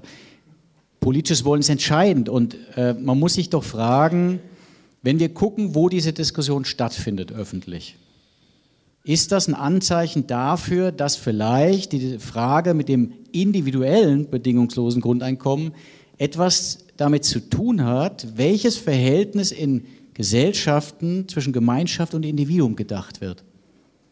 Hat es damit was zu tun? So, denken Sie in Clanstrukturen hat das Individuum gar kein eigenständiges Recht. Es ist immer Bestandteil des Clans oder Stammes. So, wenn wir, so wie wir argumentieren, wir argumentieren hier immer vor unserem Hintergrund, da ist das vollkommen zwingend. Ja. Aber die Frage ist, wie ist das in anderen Kulturräumen? Ne, wie sieht es da aus? Ich kann nicht entscheiden, wie die Empfänglichkeit da ist, aber wenn man schaut, wo die Diskussionen stattfinden, hat man den Eindruck, da wo wir uns befinden, da scheint das Grundeinkommen nahe zu liegen. Zumindest diskutieren wir darüber. In ander, wo ist die öffentliche Diskussion? In, ja, aber in Namibia, wer hat das denn finanziert in Namibia? Nein, das ist nicht egal. Das war eigentlich ein verkapptes Entwicklungshilfeprojekt. Das muss man, ne, das ist ein Problem, kann man auch sagen. Also ich will damit nur auf eines hinaus. Natürlich, das hat der Herr Rätz ja zu Recht gesagt, die Idee als solche ist ja nicht national beschränkt. Ne? Also man kann nicht sagen, die dürfte nur hier oder da diskutiert werden. Keine Frage, ne? das sehe ich genauso. Die Frage ist, wo kann ich anfangen? Und wo bin ich, ah, ist es auch legitim, dass ich anfange? Weil ich kann den Südafrikanern nicht sagen, was sie haben wollen. Ne? Das müssen die selbst wissen. Und ich kann hier natürlich mich öffentlich einsetzen dafür und dann muss man sich überlegen, was kann man da machen. Ne? Vortragsveranstaltungen, an welche Themen kann man anknüpfen, das, was also die über die Jahre immer geschehen ist schon. Aber erzwingen kann man das natürlich nicht. Ne? Das fordert einen langen Atem. Ich meine, wir sind ja jetzt alle schon mehr als zehn Jahre damit befasst. Das hätte vielleicht am Anfang keiner so recht gedacht. Und man weiß eigentlich nicht, wie lange es noch dauert, wenn es überhaupt jemals eingeführt wird. Auch das weiß man ja nicht. Da muss man dranbleiben, ne, wenn man das will. Und dann wird man sehen, was passiert. Mehr würde ich nicht äh, trauen, mich trauen, dazu zu sagen. Ne? Man kann alle möglichen Dinge ausversuchen, Werbekampagnen nutzen, irgendein Thema ins Spiel zu bringen, aber vor allem die Verbindung zu Themen, die die Leute beschäftigen. Ne? Also jetzt die Digitalisierungsdebatte kann ein Anlass sein, das aufzugreifen. Die Volksabstimmung in der Schweiz kann man nutzen um Veranstaltungen zu machen, zum Beispiel zu direkter Demokratie und Grundeinkommen. Wir haben ja zu direkter Demokratie auch ein bisschen schwieriges Verhältnis. Ja, das sind so Anlässe, die man suchen kann. Viel mehr, man kann sich vernetzen, das ist, geschieht ja auch, das ist, muss man alles nicht von neuem machen. Das, das ist es aber eigentlich. Ne? Stetig daran weiterwirken und sehen, was passiert und darauf reagieren. Mehr äh, wüsste ich jetzt nicht, was man machen soll. Ne? Also das klingt jetzt ein bisschen ernüchternd. Ich meine das aber gar nicht so. Es ist einfach realistisch. Ne? Es ist auch Erfahrung. Und es kann ja trotzdem was bewegen. Wenn, wenn dann jemand kommt und sagt, das Beispiel kam jetzt vorhin mit den, nach einem halben Jahr oder nach einem Jahr, oder war es nach zehn Jahren, der dann kommt und sagt, jetzt habe ich das verstanden mit dem Grundeinkommen, was ich damals total abstrus fand. Die Erfahrung habe ich auch schon gemacht öfter. Ne? Dass es auch eine Weile braucht, bis manche Leute dann sehen, wie, wie das eigentlich verknüpft ist mit anderen Fragen. Und am Anfang die Widerstände so groß sind. Und das braucht offenbar Zeit, bis sich das klärt. Und man weiß nicht, wie lang. Und das ist ganz unterschiedlich. Ich befürchte, Sie sind mit der Antwort in etwa so ein bisschen unzufrieden wie ich auch. ja. Okay, hier, Sie wollten auch nochmal. Ganz kurz, also ähm, äh, wenn ich mich international, global mit dem Thema Grundeinkommen beschäftige, mich austausche mit Leuten aus Namibia, Indien, wo auch immer her, das ist vollkommen egal, dann berücksichtige ich natürlich, und das ist ja genau der internationale Vernetzungsgedanke, natürlich die ganz konkreten Gegebenheiten im jeweiligen Land, in dieser Region, das ist doch ganz klar. Und da werden doch ganz andere Debatten geführt. Vielleicht ist für uns erstmal wichtig, dass die da sagen, also okay, wir brauchen aber ein Recht auf Zugang auf sauberes Wasser. Das ist uns Allerwichtigste. Und das am besten kostenfrei, also im Sinn von Commons, Allmende, wie die Begriffe jetzt alle heißen. Also äh, das, das eine schließt doch das andere nicht aus. Wer denkt zu sagen, ich will mich international für das Grundeinkommen global engagieren, dass ich dem anderen mein Konzept, wie ich das Grundeinkommen hier in Deutschland umsetzen würde, überstülpe, der liegt natürlich falsch. Das wäre imperial. und soweit ich die Grundeinkommensszene kenne, international, europäisch und Deutschland, gibt es ganz wenig Imperialismen in der Grundeinkommensszene. Es gibt einige Konzepte, die imperial sind, aber da will ich heute mal nicht drüber diskutieren. Aber das ist ganz klar, äh, dass zum Beispiel in diesen sogenannten Entwicklungsländern diskutiert wird, wem geben wir in der Familie das Grundeinkommen? Dem Vater oder der Mutter? Das ist eine Diskussion, die man übrigens auch in Deutschland führen könnte, aber die wird bei uns nicht zu scharf geführt.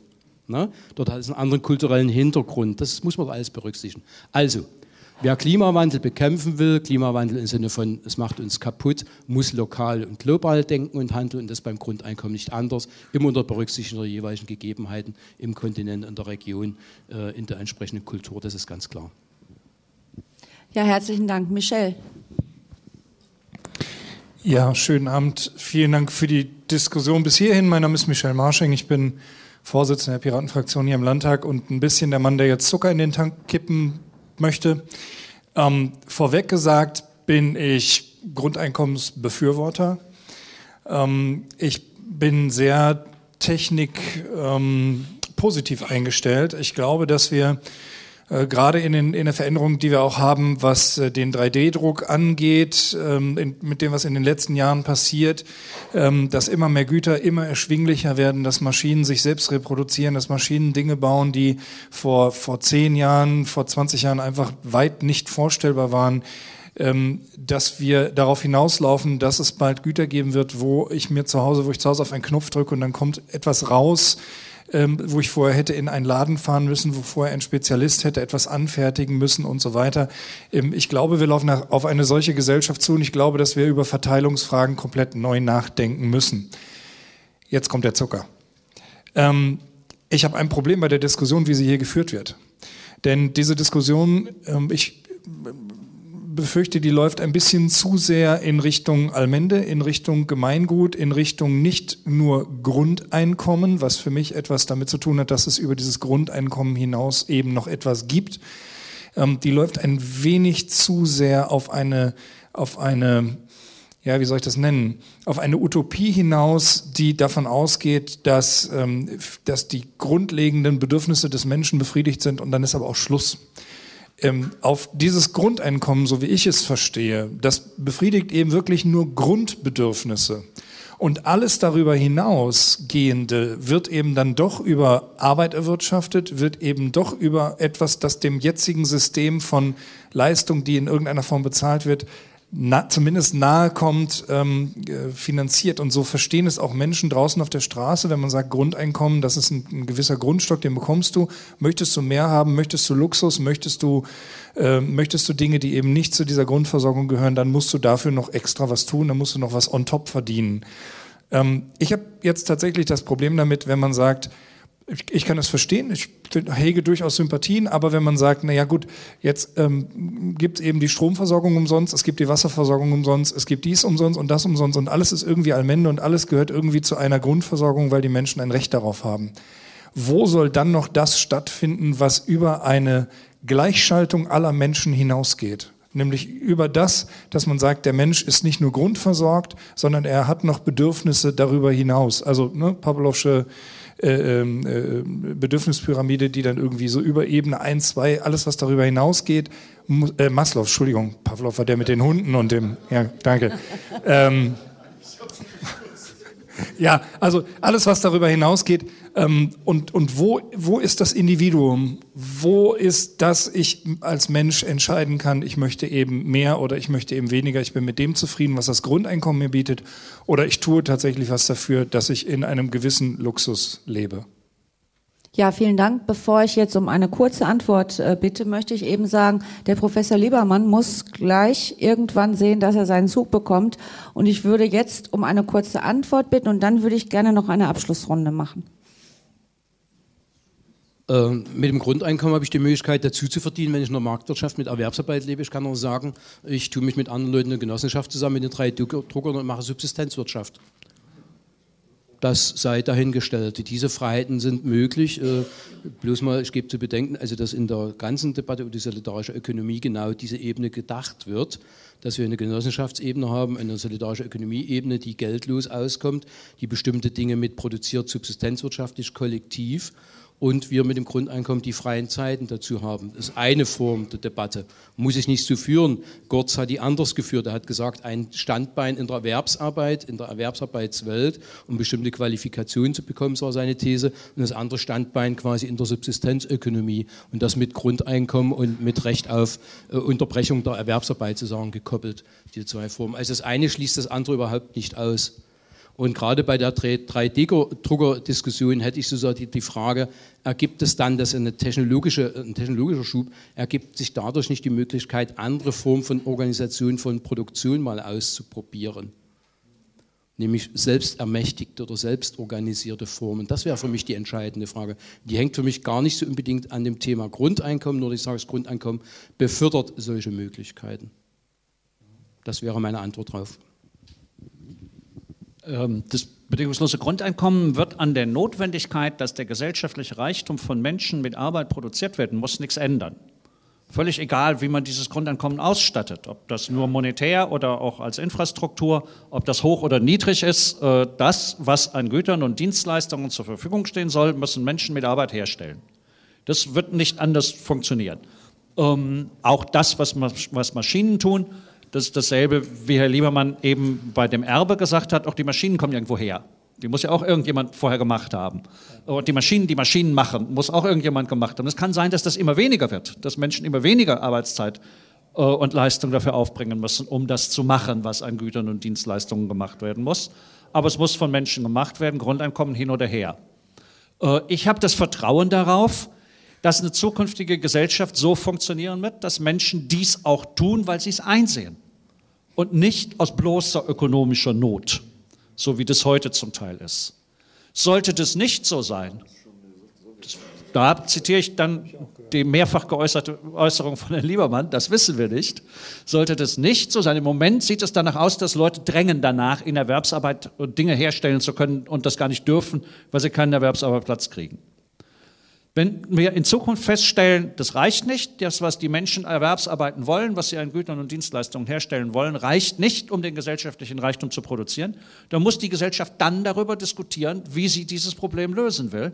Das Einzige, was ich sage, ist, sie darf es nicht so lösen, dass sie den Menschen das Existenzminimum, das physische Existenzminimum entzieht und sie über ökonomischen Druck dazu zwingt zu arbeiten. Das ist das Einzige aber sich einen Kopf drum machen, wie die Tätigkeiten getan werden können, die getan werden müssen und die im Moment niemand tut, sich darum einen Kopf machen, wird eine Gesellschaft dann tun müssen, wenn es nicht von alleine funktioniert. Klar.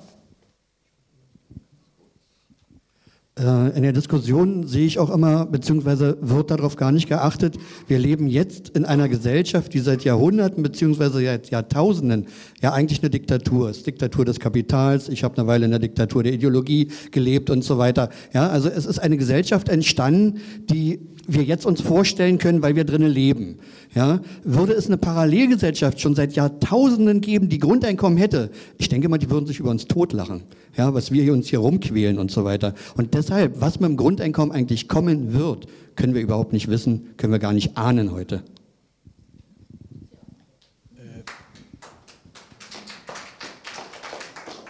Ja, also wesentlich ist jetzt schon gesagt worden. Ähm, ich meine, wir haben ja auch heute, können wir doch feststellen, dass äh, in verschiedenen Gesellschaften mit solchen Fragen, auch was ist öffentliche Infrastruktur und was nicht, ganz unterschiedlich umgegangen wird. Wenn Sie nur vergleichen, die Schweizer Bundesbahn mit der Deutschen Bahn. Die Schweizer haben ein ganz anderes Verhältnis zum öffentlichen Nahverkehr und Fernverkehr, muss man dazu sagen. Die kämen nicht auf die Idee, das zu privatisieren. Ja, wir schon, aus irgendeinem Grund. Ja, klappt, aber hat nicht so gut geklappt. Ne? Ist ja auch nicht wirklich privatisiert. Ne? Das ist ja noch das Beste daran. Also, Sie, ich meine, das ist sehr unterschiedlich. Ne? Und da, da haben unterschiedliche Gesellschaften unterschiedliche Wertigkeiten auch. Das wird sich auch nicht voll einheitlich entwickeln. Das ist, würde ich auch so sehen. Das wird man da klären müssen. Da muss eine Antwort gefunden werden. Das müssen wir aber heute auch. Da schafft das Grundeinkommen überhaupt nichts Neues. Wir müssen ja heute auch diese Antwort finden. Nehmen Sie doch jetzt die Flüchtlingssituation oder der demografische Wandel, die Zunahme an Demenzerkrankungen und so weiter und so fort. Da müssen wir auch eine Antwort drauf finden. Das löst sich nicht von selbst. Und so ist es mit dem Grundeinkommen auch. Das ändert an dem gar nichts. Ne? Befördert vielleicht die Möglichkeiten. Ne?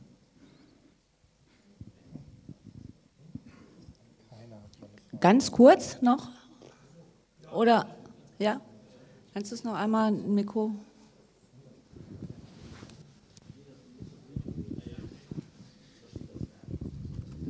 Das ist einfach.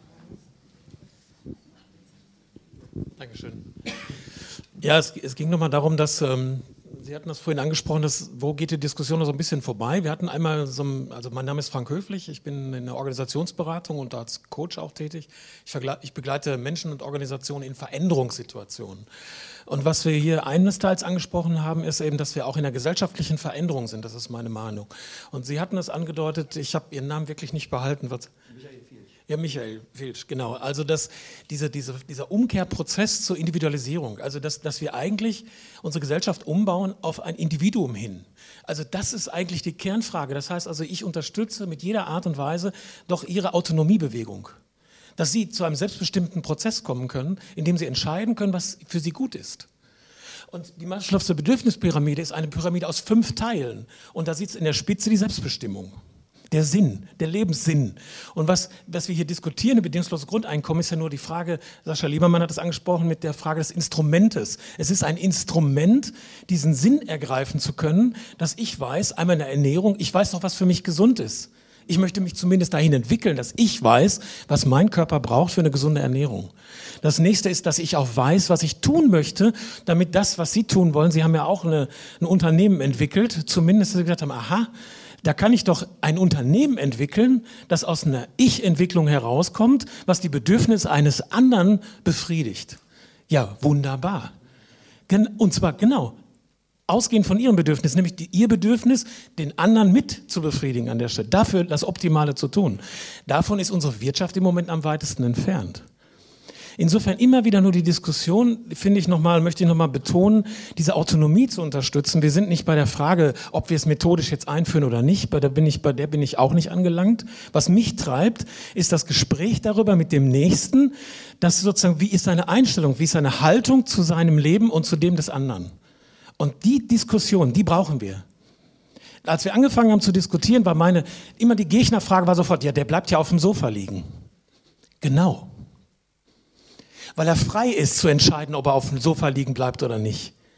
Ich sage ihm nicht mehr, was er soll. Ich weiß auch nicht, was für ihn gut ist. Aber für mich ist es gut, wenn ich es hätte, dann kann ich machen, was ich will. Und das wird garantiert nicht zum Schaden des anderen sein. Und das ist das Grundbedürfnis, was in den Menschen im Allgemeinen liegt, eben auch global. Es wird nicht zum Schaden des anderen sein.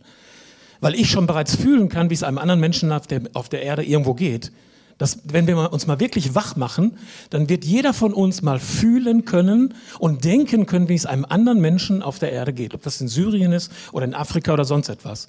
Und darauf möchte er seinen Lebenssinn eigentlich ausrichten. Da sind wir nämlich längst in einem Umbruch, in einem revolutionären Prozess, innerlich als Mensch.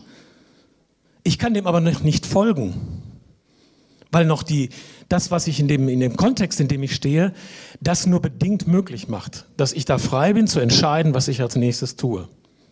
Und dieses Gespräch darüber, dass ich das vielleicht doch entscheiden kann, das finde ich in so einer Podiumsdiskussion aus und vorzüglich, sage ich jetzt mal, ähm, dass wir überhaupt in dieses Gespräch kommen. Ich glaube, das ist das Entscheidende, dass wir immer mehr in dieses Gespräch darüber kommen, dass wir dieses Gefühl längst haben. Wir haben auch heute Abend mehrmals darüber gesprochen und dass das echt ist, dieses Gefühl, also ein Wahrheitsgefühl auch, dass das richtig ist oder was auch immer richtig ist und dass das bedingungslose Grundeinkommen ein Instrument dafür sein kann. Vielen Dank. Also ich stelle. Vielen Dank für den Wortbeitrag. Ich stelle zumindest fest, dass wir eine unterschiedliche Vorstellung von dem Wort kurz haben an dieser Stelle. Trotzdem herzlichen Dank. äh, der Herr P Professor Liebermann muss los, da kommt, glaube ich, das Taxi. Ich würde Sie gerne noch drei Minuten verhaften.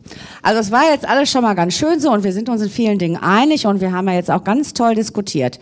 Jetzt habe ich so ein bisschen das Problem, wir haben gerade festgestellt, wir gehen jetzt in die Öffentlichkeit und wollen die Leute alle mitnehmen. Jetzt stelle ich mich irgendwo an Infostand Samstag und erkläre irgendjemandem was von der Diktatur des Kapitals. Jo, das wird toll. Äh, ich nehme Sie vier jetzt mit nach draußen an den Infostand. Und wir hören mal, was die Leute sagen. Und Sie sagen mir in drei, vier Sätzen, was sagen Sie denen dann? Ja? Das erste ist, dann bleiben die doch alle im Bett liegen.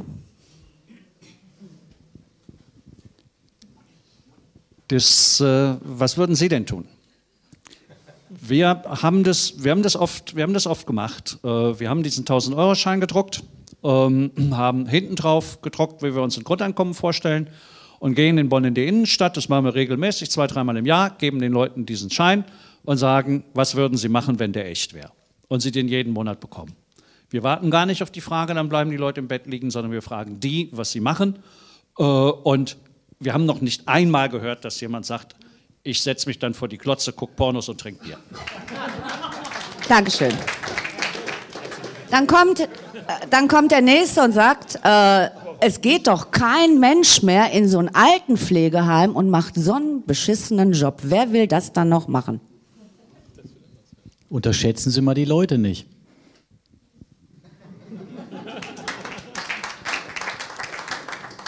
So, dann wird ja immer behauptet, ne, wenn wir dieses BGE äh, haben, dann ist kein Kind mehr arm. Super.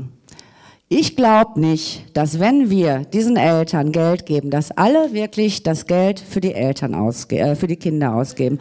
Dann gibt's ein großes Auto, dann gibt's einen dicken Urlaub, dann äh, Ne, dann, ne, genau, den Plast, Plast. Wer garantiert uns denn, dass das Geld bei den Kindern dann noch ankommt? Gar keiner. Das hatte ich schon kurz gesagt, dass wir alles irgendwo gebrochene Menschen sind, dass wir kein Urvertrauen in den Menschen haben, in die anderen Menschen und es nicht denken können, dass eine Familie eigenständig im Wohle oder für Wohle der Kinder agieren kann. So, und die letzte Frage, äh, das kann gar nicht sein. Wir können doch hier nicht eine Million Flüchtlinge mitfinanzieren und wenn wir das machen, dann haben wir nicht eine Million, dann kommen aus der ganzen Welt die Leute zu uns, weil bei uns braucht man nicht arbeiten, da kriegt man die Kohle einfach nur so. Dann muss ich dafür sorgen, dass die Menschen aus Not nicht flüchten müssen. Punkt. Ja.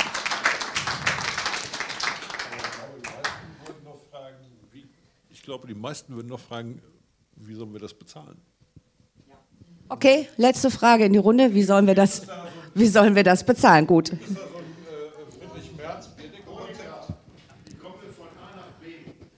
Was? Nein, ich möchte jetzt gerne, ne, also das ist ja hier auch diese Frage, die wir dann bekommen, wenn wir damit nach draußen gehen, tatsächlich vielleicht in ein, zwei Sätzen, wie wollen wir das bezahlen? Das ist doch bezahlt. Es ist doch längst bezahlt. Die Dinge, die notwendig sind, die Güter und Dienstleistungen, die notwendig sind für ein gutes Leben aller, die sind doch in der Welt und was in der Welt ist, ist auch bezahlt. Das ist doch nur eine Frage der Verteilung. Genau.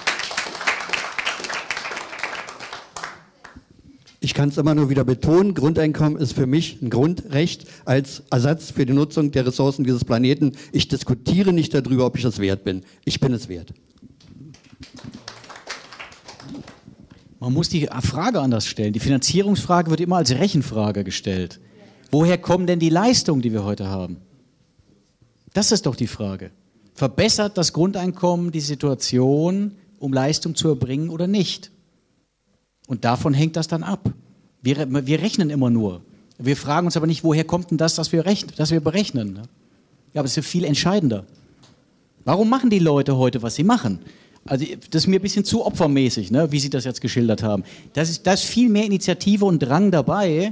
Der wird vielleicht hier und da gehemmt und behindert, aber der ist ja da. Das kenne ich auch, wenn ich nicht weiß, was ich antworten soll. Man muss die Frage anders stellen. Ja, ganz herzlichen Dank. Ich möchte mich äh, ganz herzlich bedanken bei unseren Gästen. Ich fand das sehr erhellend. Ich glaube, es hat allen ein bisschen was gebracht, Spaß gemacht. Und ähm, wir gehen jetzt, wer mag, noch hier rüber ins Kit. Da gibt es einen Schluck zu trinken, auch einen Happen zu essen. Ich würde mich freuen, wenn ihr sie dabei wärt. Und dann sage ich bis gleich. Herzlichen Dank.